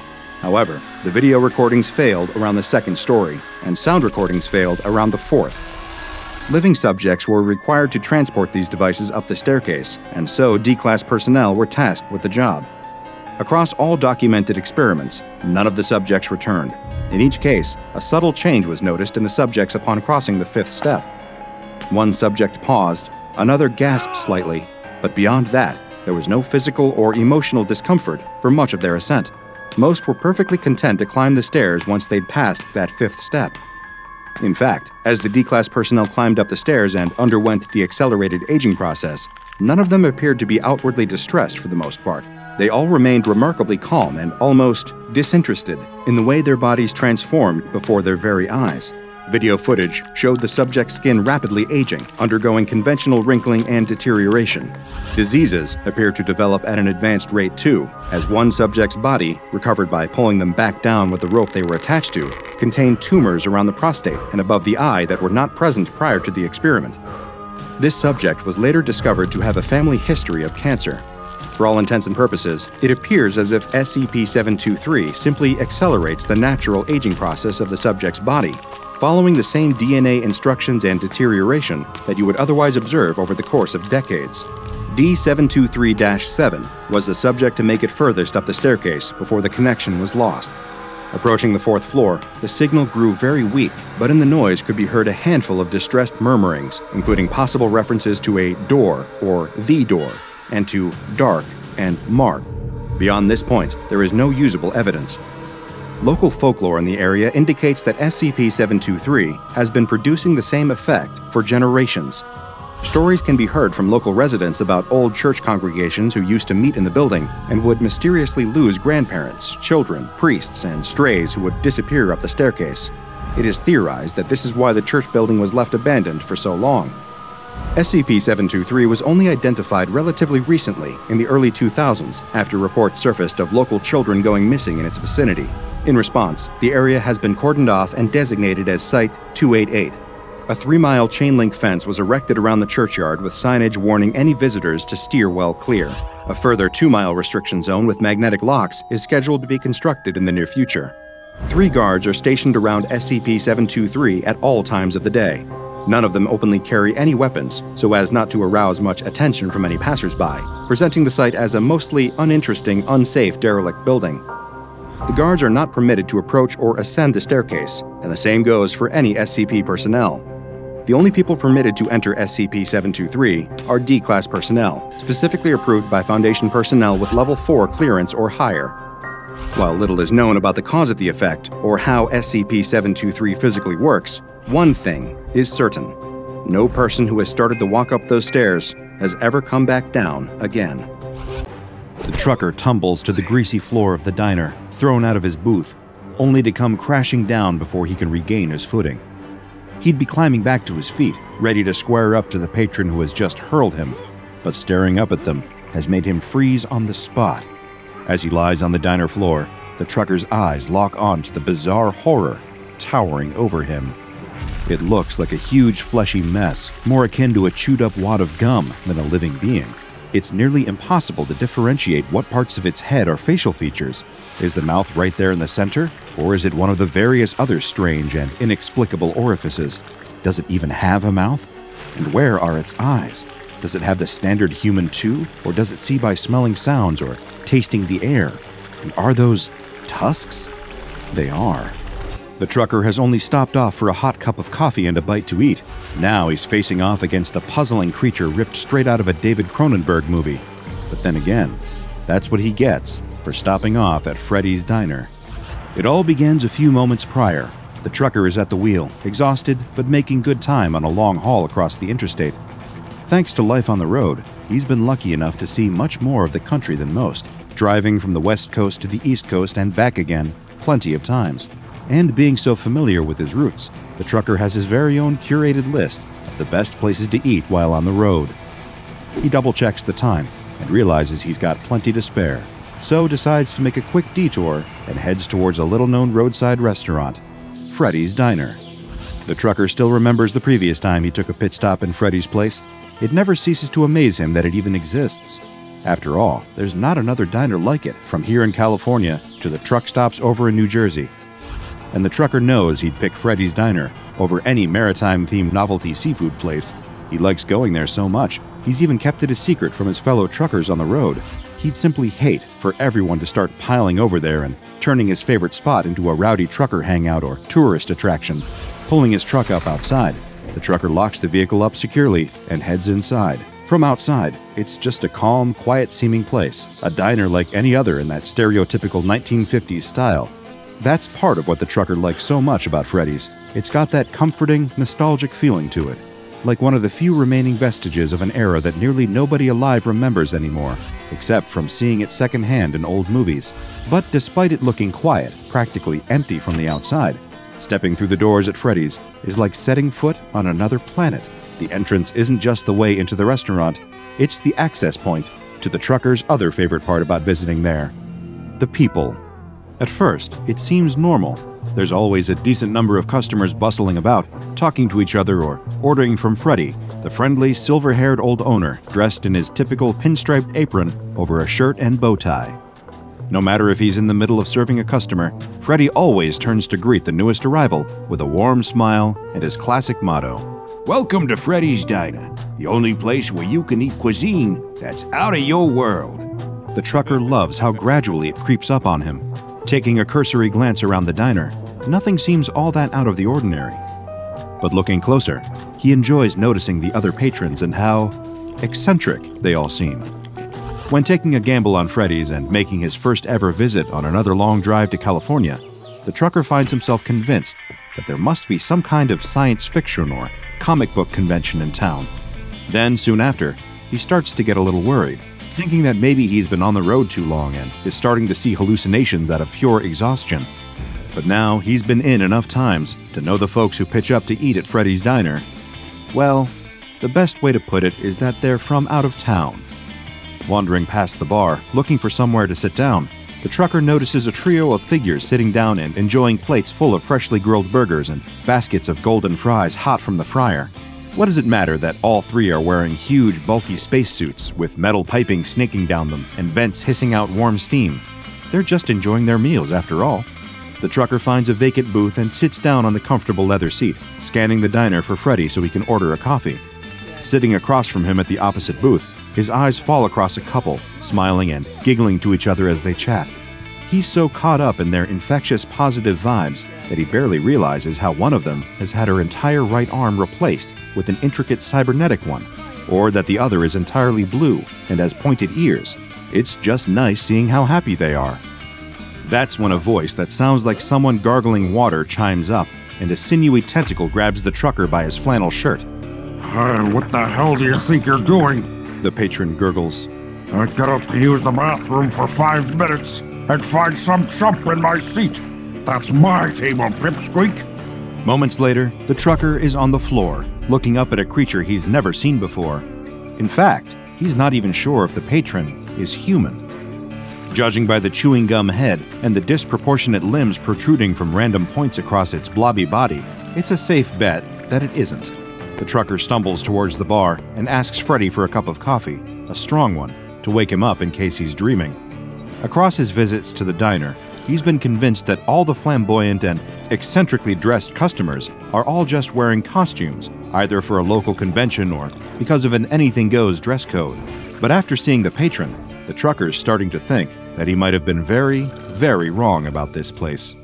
Not to be confused with a certain pizzeria populated with quirky animatronic characters, Freddy's Diner is a restaurant experience like no other. But if you're hoping to experience its comfort food and unique atmosphere for yourself, then you might have a hard time getting past the quarantine zone that now surrounds the diner, thanks to the SCP Foundation. Technically, Freddy's Diner is still very much in business, although you're not likely to see anyone stepping through or out of the front doors anytime soon. Well, not from this dimension, at least. Before it would go on to be known as SCP 4258, the SCP Foundation learns of this seemingly innocuous restaurant two months after it first appears. To begin, none of the people that live in the nearby area pay the place much mind. As far as they know, Freddy's Diner is just a harmless 50s themed diner each and every one of them remains totally unaware that their memories have been tampered with, so that as far as they're concerned, SCP 4258 feels like it's always been a local staple, despite only having been around for a few short months. However, some new folks roll into town, and pretty soon the Foundation are getting rather suspicious about Freddy's Diner, thanks to abundant reports of a strange restaurant with weird cosplayers from the newcomers. They send in an undercover agent to investigate, making sure to be as subtle as possible, after all, at this point, there's still every possibility that Freddy's Diner really is just a hotspot for cosplayers and other eccentrically dressed individuals. But if only things were that simple. Inside, the agent is greeted by familiar, nostalgic surroundings circular seated bar stools, black and white tiled floors like a chessboard underfoot, a jukebox in one corner blaring out hits from the likes of Chuck Berry and Elvis Presley. Even the menu has all the old classics on there thick, frothy milkshakes served in tall glasses, freshly made burgers and fries, the kind of food that fits the atmosphere of the 1950s. The thing that doesn't, of course, is the various, unusual customers that frequently eat at Freddy's Diner. Even without his extensive training in identifying anomalies, it doesn't take the Foundation's agent very long to realize that some of the people enjoying their meals inside SCP 4258 aren't all human. Some are. In fact, most of them do still resemble something close to humanoid, although upon closer inspection, it would appear that almost everyone in the diner has widely different physiology. Even those that look mostly human on the outside aren't a perfect match, at least by our standards. That's because everyone who visits Freddy's Diner has come from a completely different reality. SCP 4258 isn't your average diner, it's an interdimensional diner People from all across the multiverse have made their way to this specific restaurant for a bite, and it's definitely popular with those that visit. Freddy's Diner might be the only restaurant that can claim to be multiversally loved, frequented by customers from multiple different dimensions all at once. Some days, you might see little more to indicate this than a few patrons wearing weird clothing, the kind that you've never seen before. A sight like that is easy to write off as a bizarre fashion statement after all. But on other days, when you find yourself enjoying a classically made milkshake at the bar, when a six and a half foot anthropomorphic slime creature sits down on the stool next to you, then it becomes a bit more apparent that Freddy's Diner is anything but ordinary. And the agent sent to investigate the place by the Foundation quickly gets that very same impression during his first visit. Perhaps in an effort not to get swept up in the wondrous Mos Eisley Cantina energy of SCP 4258, the agent approaches the bar and begins to conduct an impromptu interview in the field. He talks directly with an old gentleman who appears to be running the place, the sole worker and owner of the establishment, the man the diner is named after Freddy. Although he'll later become known as SCP 4258 1. Freddy greets the agent with the same charming, well mannered demeanor as all his customers, before the agent starts trying to get to the bottom of what exactly the place is. It's a diner, Freddy tells him after a quick chuckle. They don't have these in your dimension, kid. The agent clarifies that there are indeed similar diners elsewhere in this dimension, although they aren't quite like Freddy's. The owner reassured the agent that he's only kidding, and then delivers the diner's motto, which apparently took him a century to come up with. Welcome to Freddy's Diner, the only place where you can eat cuisine that's out of your world. Being well versed in the anomalous and aware of the existence of other universes, it doesn't take the agent very long to figure out that this diner acts as some form of multiversal junction point, a nexus where various different worlds can intersect. But Freddy points out that's not exactly entirely correct, but the agent has at least grasped some of the core principle. More than happy to converse with his new customer, Freddy explains that his diner exists in what is known as Todash space. This, according to him, is the space between dimensions, and the door to SCP 4258 does indeed connect to all sorts of drastically different realities. As the agent takes a look through the diner windows, he notices a change in the scenery. Where there was once the familiar setting of Earth, there is now a wide, sprawling desert that seems to stretch endlessly into the horizon and beyond. Just then, a tall humanoid figure wearing a mask steps into Freddy's diner, wrapped in extravagant robes. Freddy greets the newcomer as Quarelf. He's clearly a regular customer. The agent returns to questioning the old man, curious as to how the diner actually functions, and hoping to gain as much intelligence on the matter as possible for the SCP Foundation. One of the main questions the agent wants answered is if Freddy's Diner exists between dimensions, how can the customers possibly pay for their meals?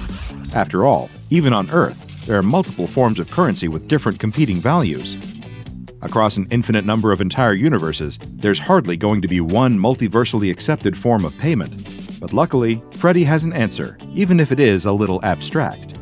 As he explains it, the restaurant is funded, in a sense, by something called Empatheus. You know that happy feeling you get when you remember something nice or someone compliments you? The restaurant feeds off that. It's what keeps the place running. Confused as to what he means, the agent asks for clarity. For a moment, it sounds like Freddy's Diner extracts positive emotions from its clientele, like a leech draining blood. But Freddy assures him that it's not quite the same. The diner itself only takes away the excess empatheus, the positive emotions, that its customers experience from being there, enjoying their meals and the atmosphere of the interdimensional diner. Freddy likens it to trimming the edges of a hedge. SCP 4258 doesn't rob people of their enjoyment, it just takes a little bit to keep the lights on. The patrons that visit only have to feel happiness, and that's the only payment for their meal that Freddy wants. That brings the agent to a final question. If the restaurant takes a little bit of empatheus as payment, then what exactly is Freddy?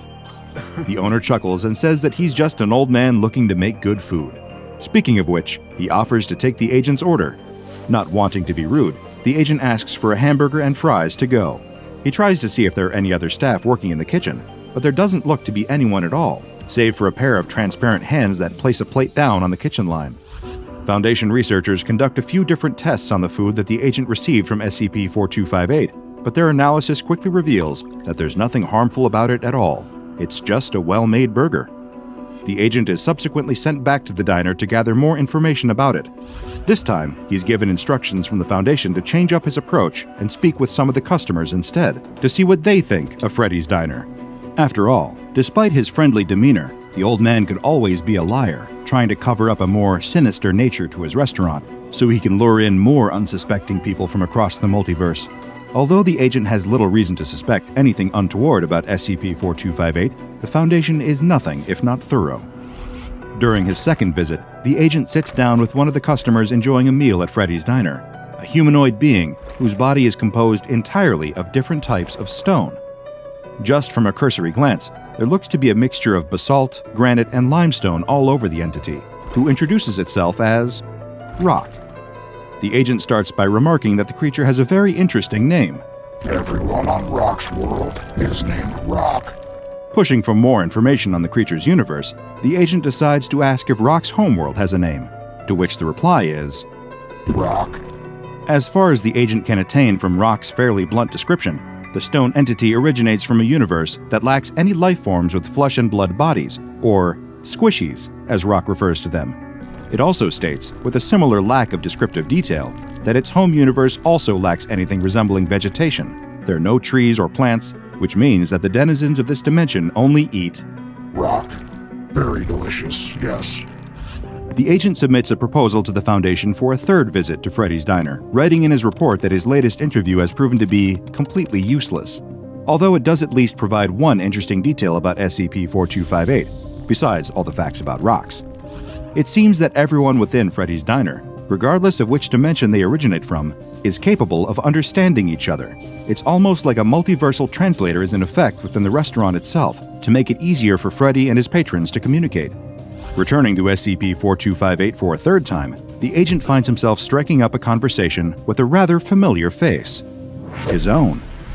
Against the improbable odds of infinite different people across an infinite number of universes in an endless multiverse, the Foundation agent happens to bump into one of his own counterparts from an alternate reality. And for the most part, this alternate agent seems to be from a universe that is practically identical to the first agent's.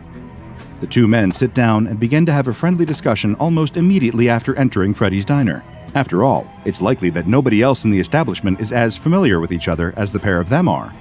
The first agent is quick to remark at how strange this encounter is, even amongst his own years of experience at the SCP Foundation.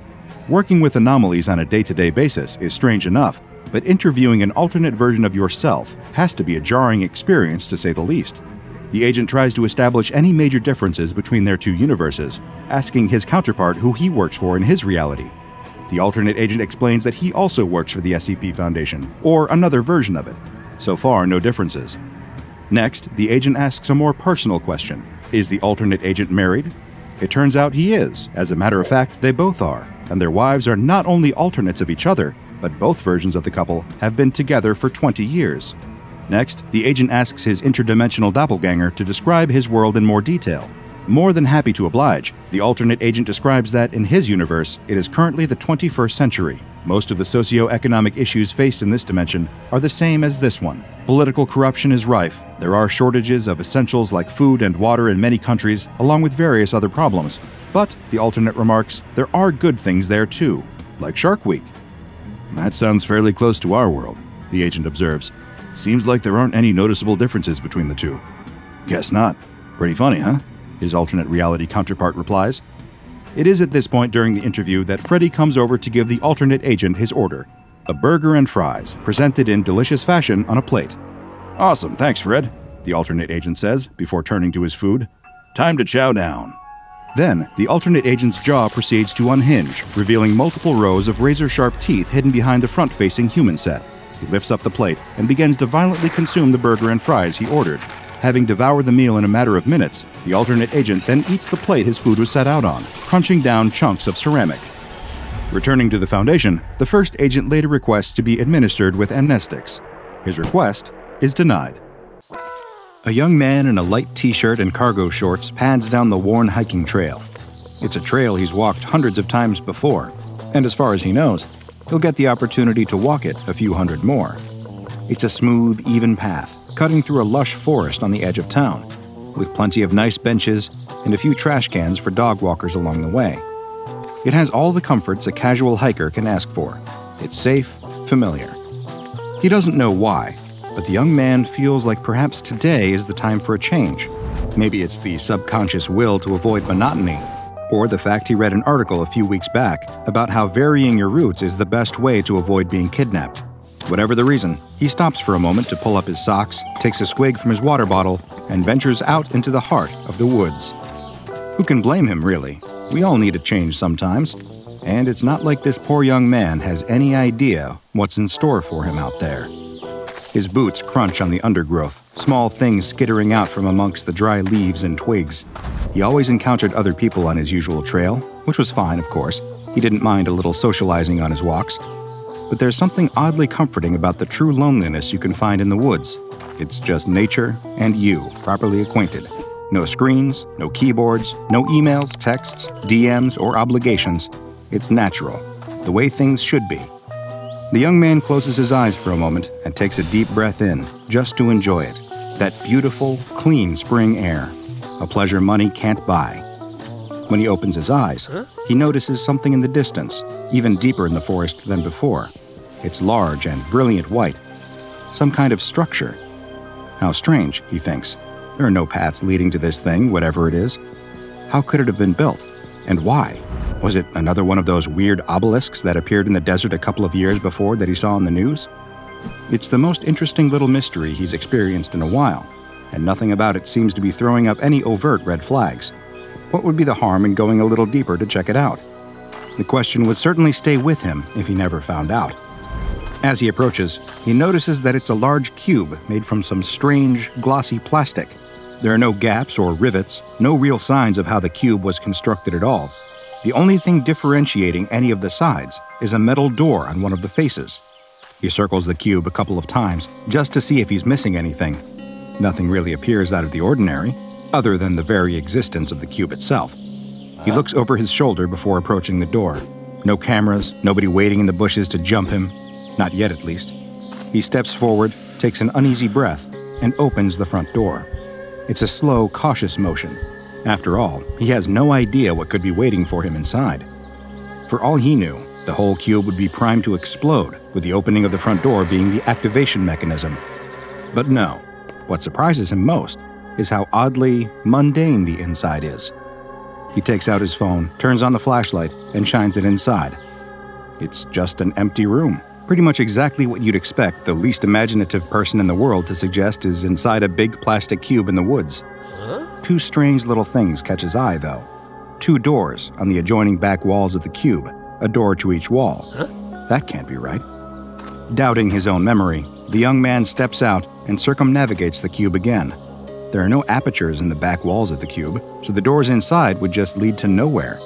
Perhaps it's some kind of unfinished construction project, he muses. He'd read all about modular living and tiny homes. Maybe the plan was simply to cut in those two extra doors at a later date and fit in a skylight. People live in retrofitted shipping containers these days. Stranger things have definitely happened. Still, there it is again. That same nagging curiosity that brought him here in the first place. Even though he knows, logically, the two doors inside the cube lead to nowhere, he knows that if he leaves without trying them himself, it'd stick with him. He's just that kind of guy. The unanswered question weighs on him like a ship's anchor tied around his neck. It's always better to just know. He ventures inside the cube again, lit once more by his phone's flashlight, and tries the door on the left. Even though he knows it should be a dead end, he still does it with that same trepidation as before, like there could be something waiting behind it, something with big eyes and even bigger teeth. He'll feel so silly for even worrying about this when he sees the wall on the other side. But that isn't what he sees. In fact, to his immense surprise, the door opens up into the interior of what seems like an identical cube. He's so shocked by the impossibility of it that he steps back, the door swinging back into place. No, no, no, he thinks. That's impossible. He shakes his head and rubs his eyes. It had to be some trick or illusion. There's no possible way that this door can lead anywhere. He steps forward and, with great care, opens the door again.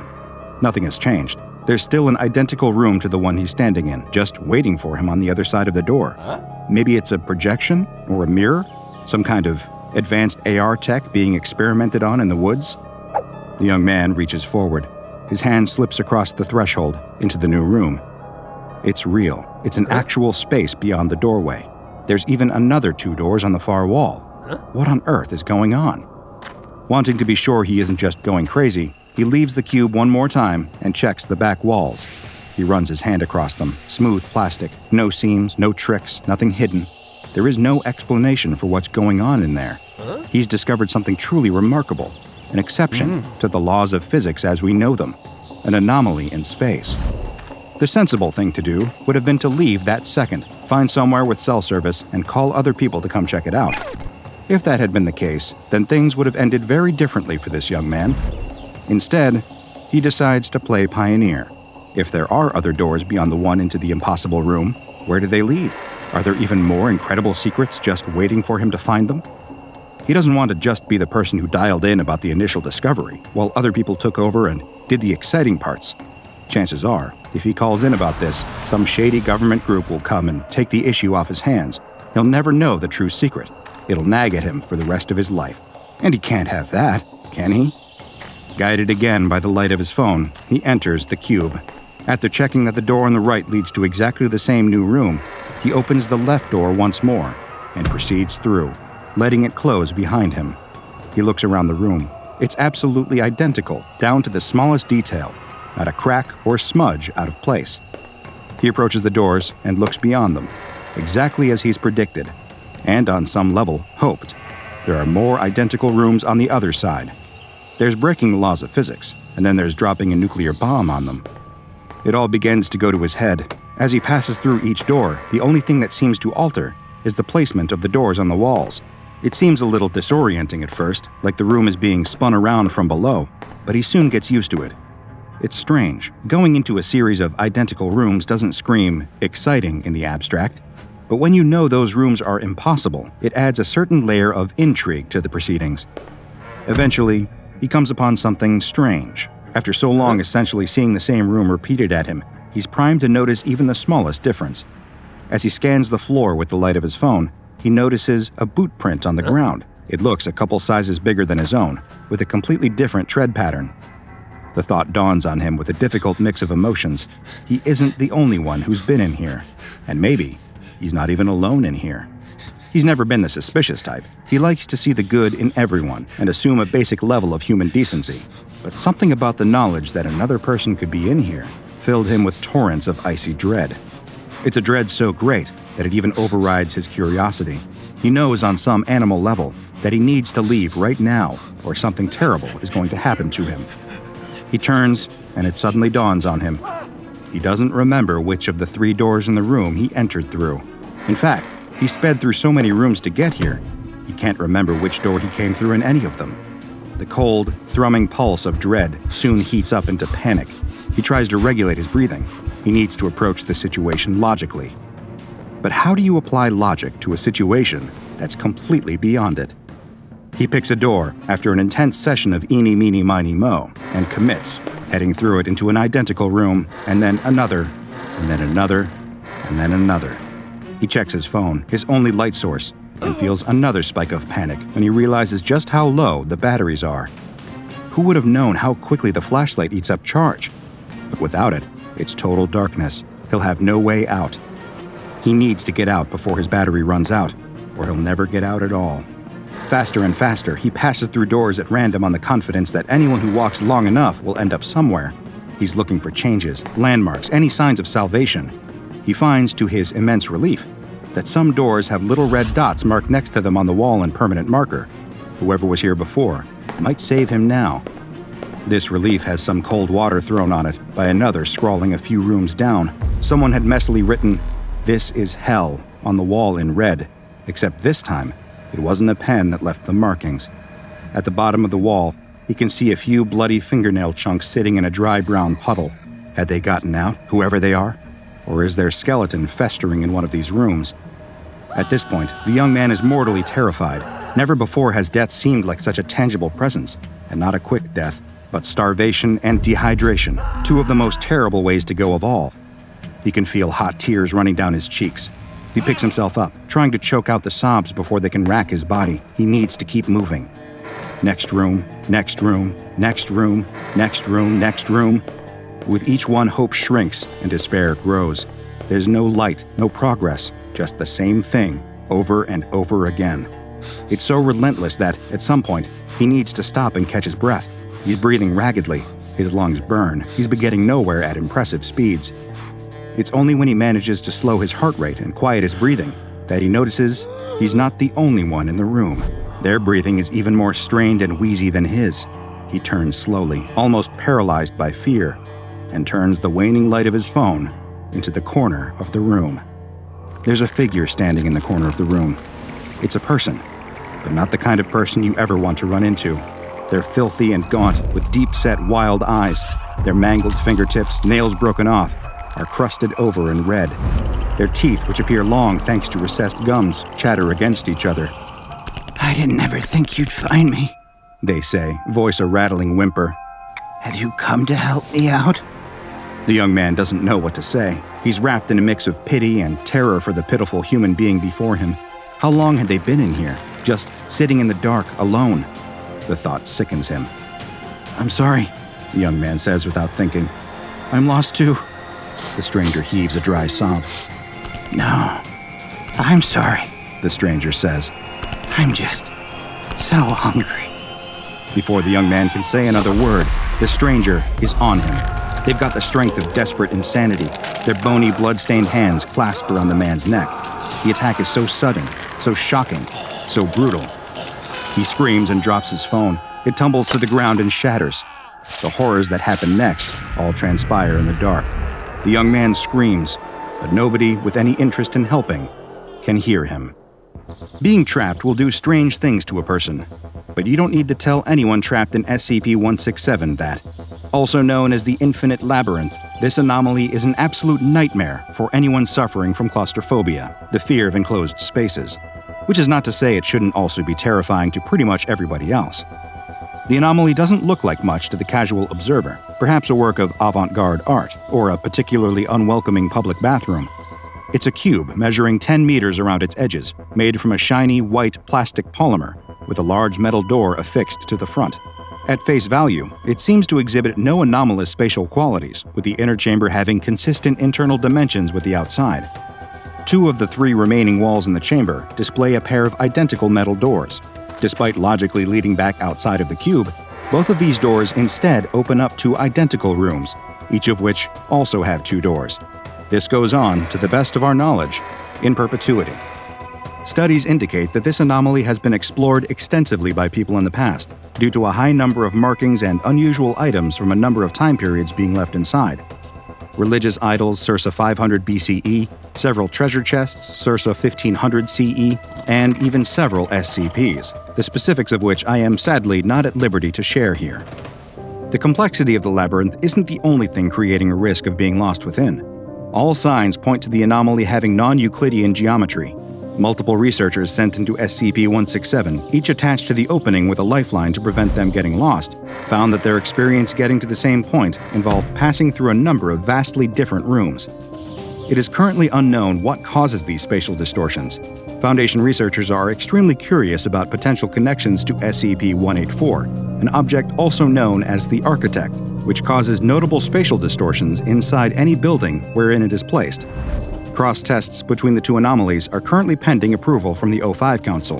Because the anomaly appears largely benign, one researcher even pitched using 167 as temporary storage space for low risk anomalies.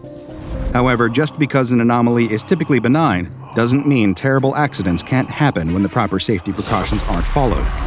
The following note on the file from lead researcher Dr. Klein illustrates one notable incident of a tragedy as a result of lax safety procedures. As most of you are aware, an SCP Foundation senior researcher was videotaped entering SCP 167 several days ago without the requisite ball of twine, and he has not yet returned. His ultimate fate is unknown, but the search teams have turned up nothing. Let this be a reminder to all of you just how easy it could be to get lost in there if you don't utilize some method of marking your path. If I find that any other researcher has disobeyed the safety regulations and entered without a ball of twine, no matter how far deep they intend to go, they will find themselves being transferred to another facility for researching Keter class SCPs, where they should have ample motivation to learn to follow safety regulations quite quickly. Signed, Dr. Klein. Because of its lack of sentience and static nature, SCP 167 has been given the Safe Object class. It has been removed from the forest and is kept in a padlocked room within Research Command 06, and anyone who seeks to conduct explorations into the interior of the anomaly must obtain permission from a relevant member of personnel with clearance level 3 or above. And remember, no matter where you're going, whether that be into the local forest or an anomalous cube, you're heading for disaster if you haven't planned how you're getting back. Now go and watch another entry from the files of Dr. Bob, like SCP 1051, Nevadan Extraterrestrial, for another anomalous location that you'd do anything to avoid getting trapped in. And make sure you subscribe and turn on notifications so you don't miss a single anomaly as we delve further and further into the SCP Foundation's classified archives.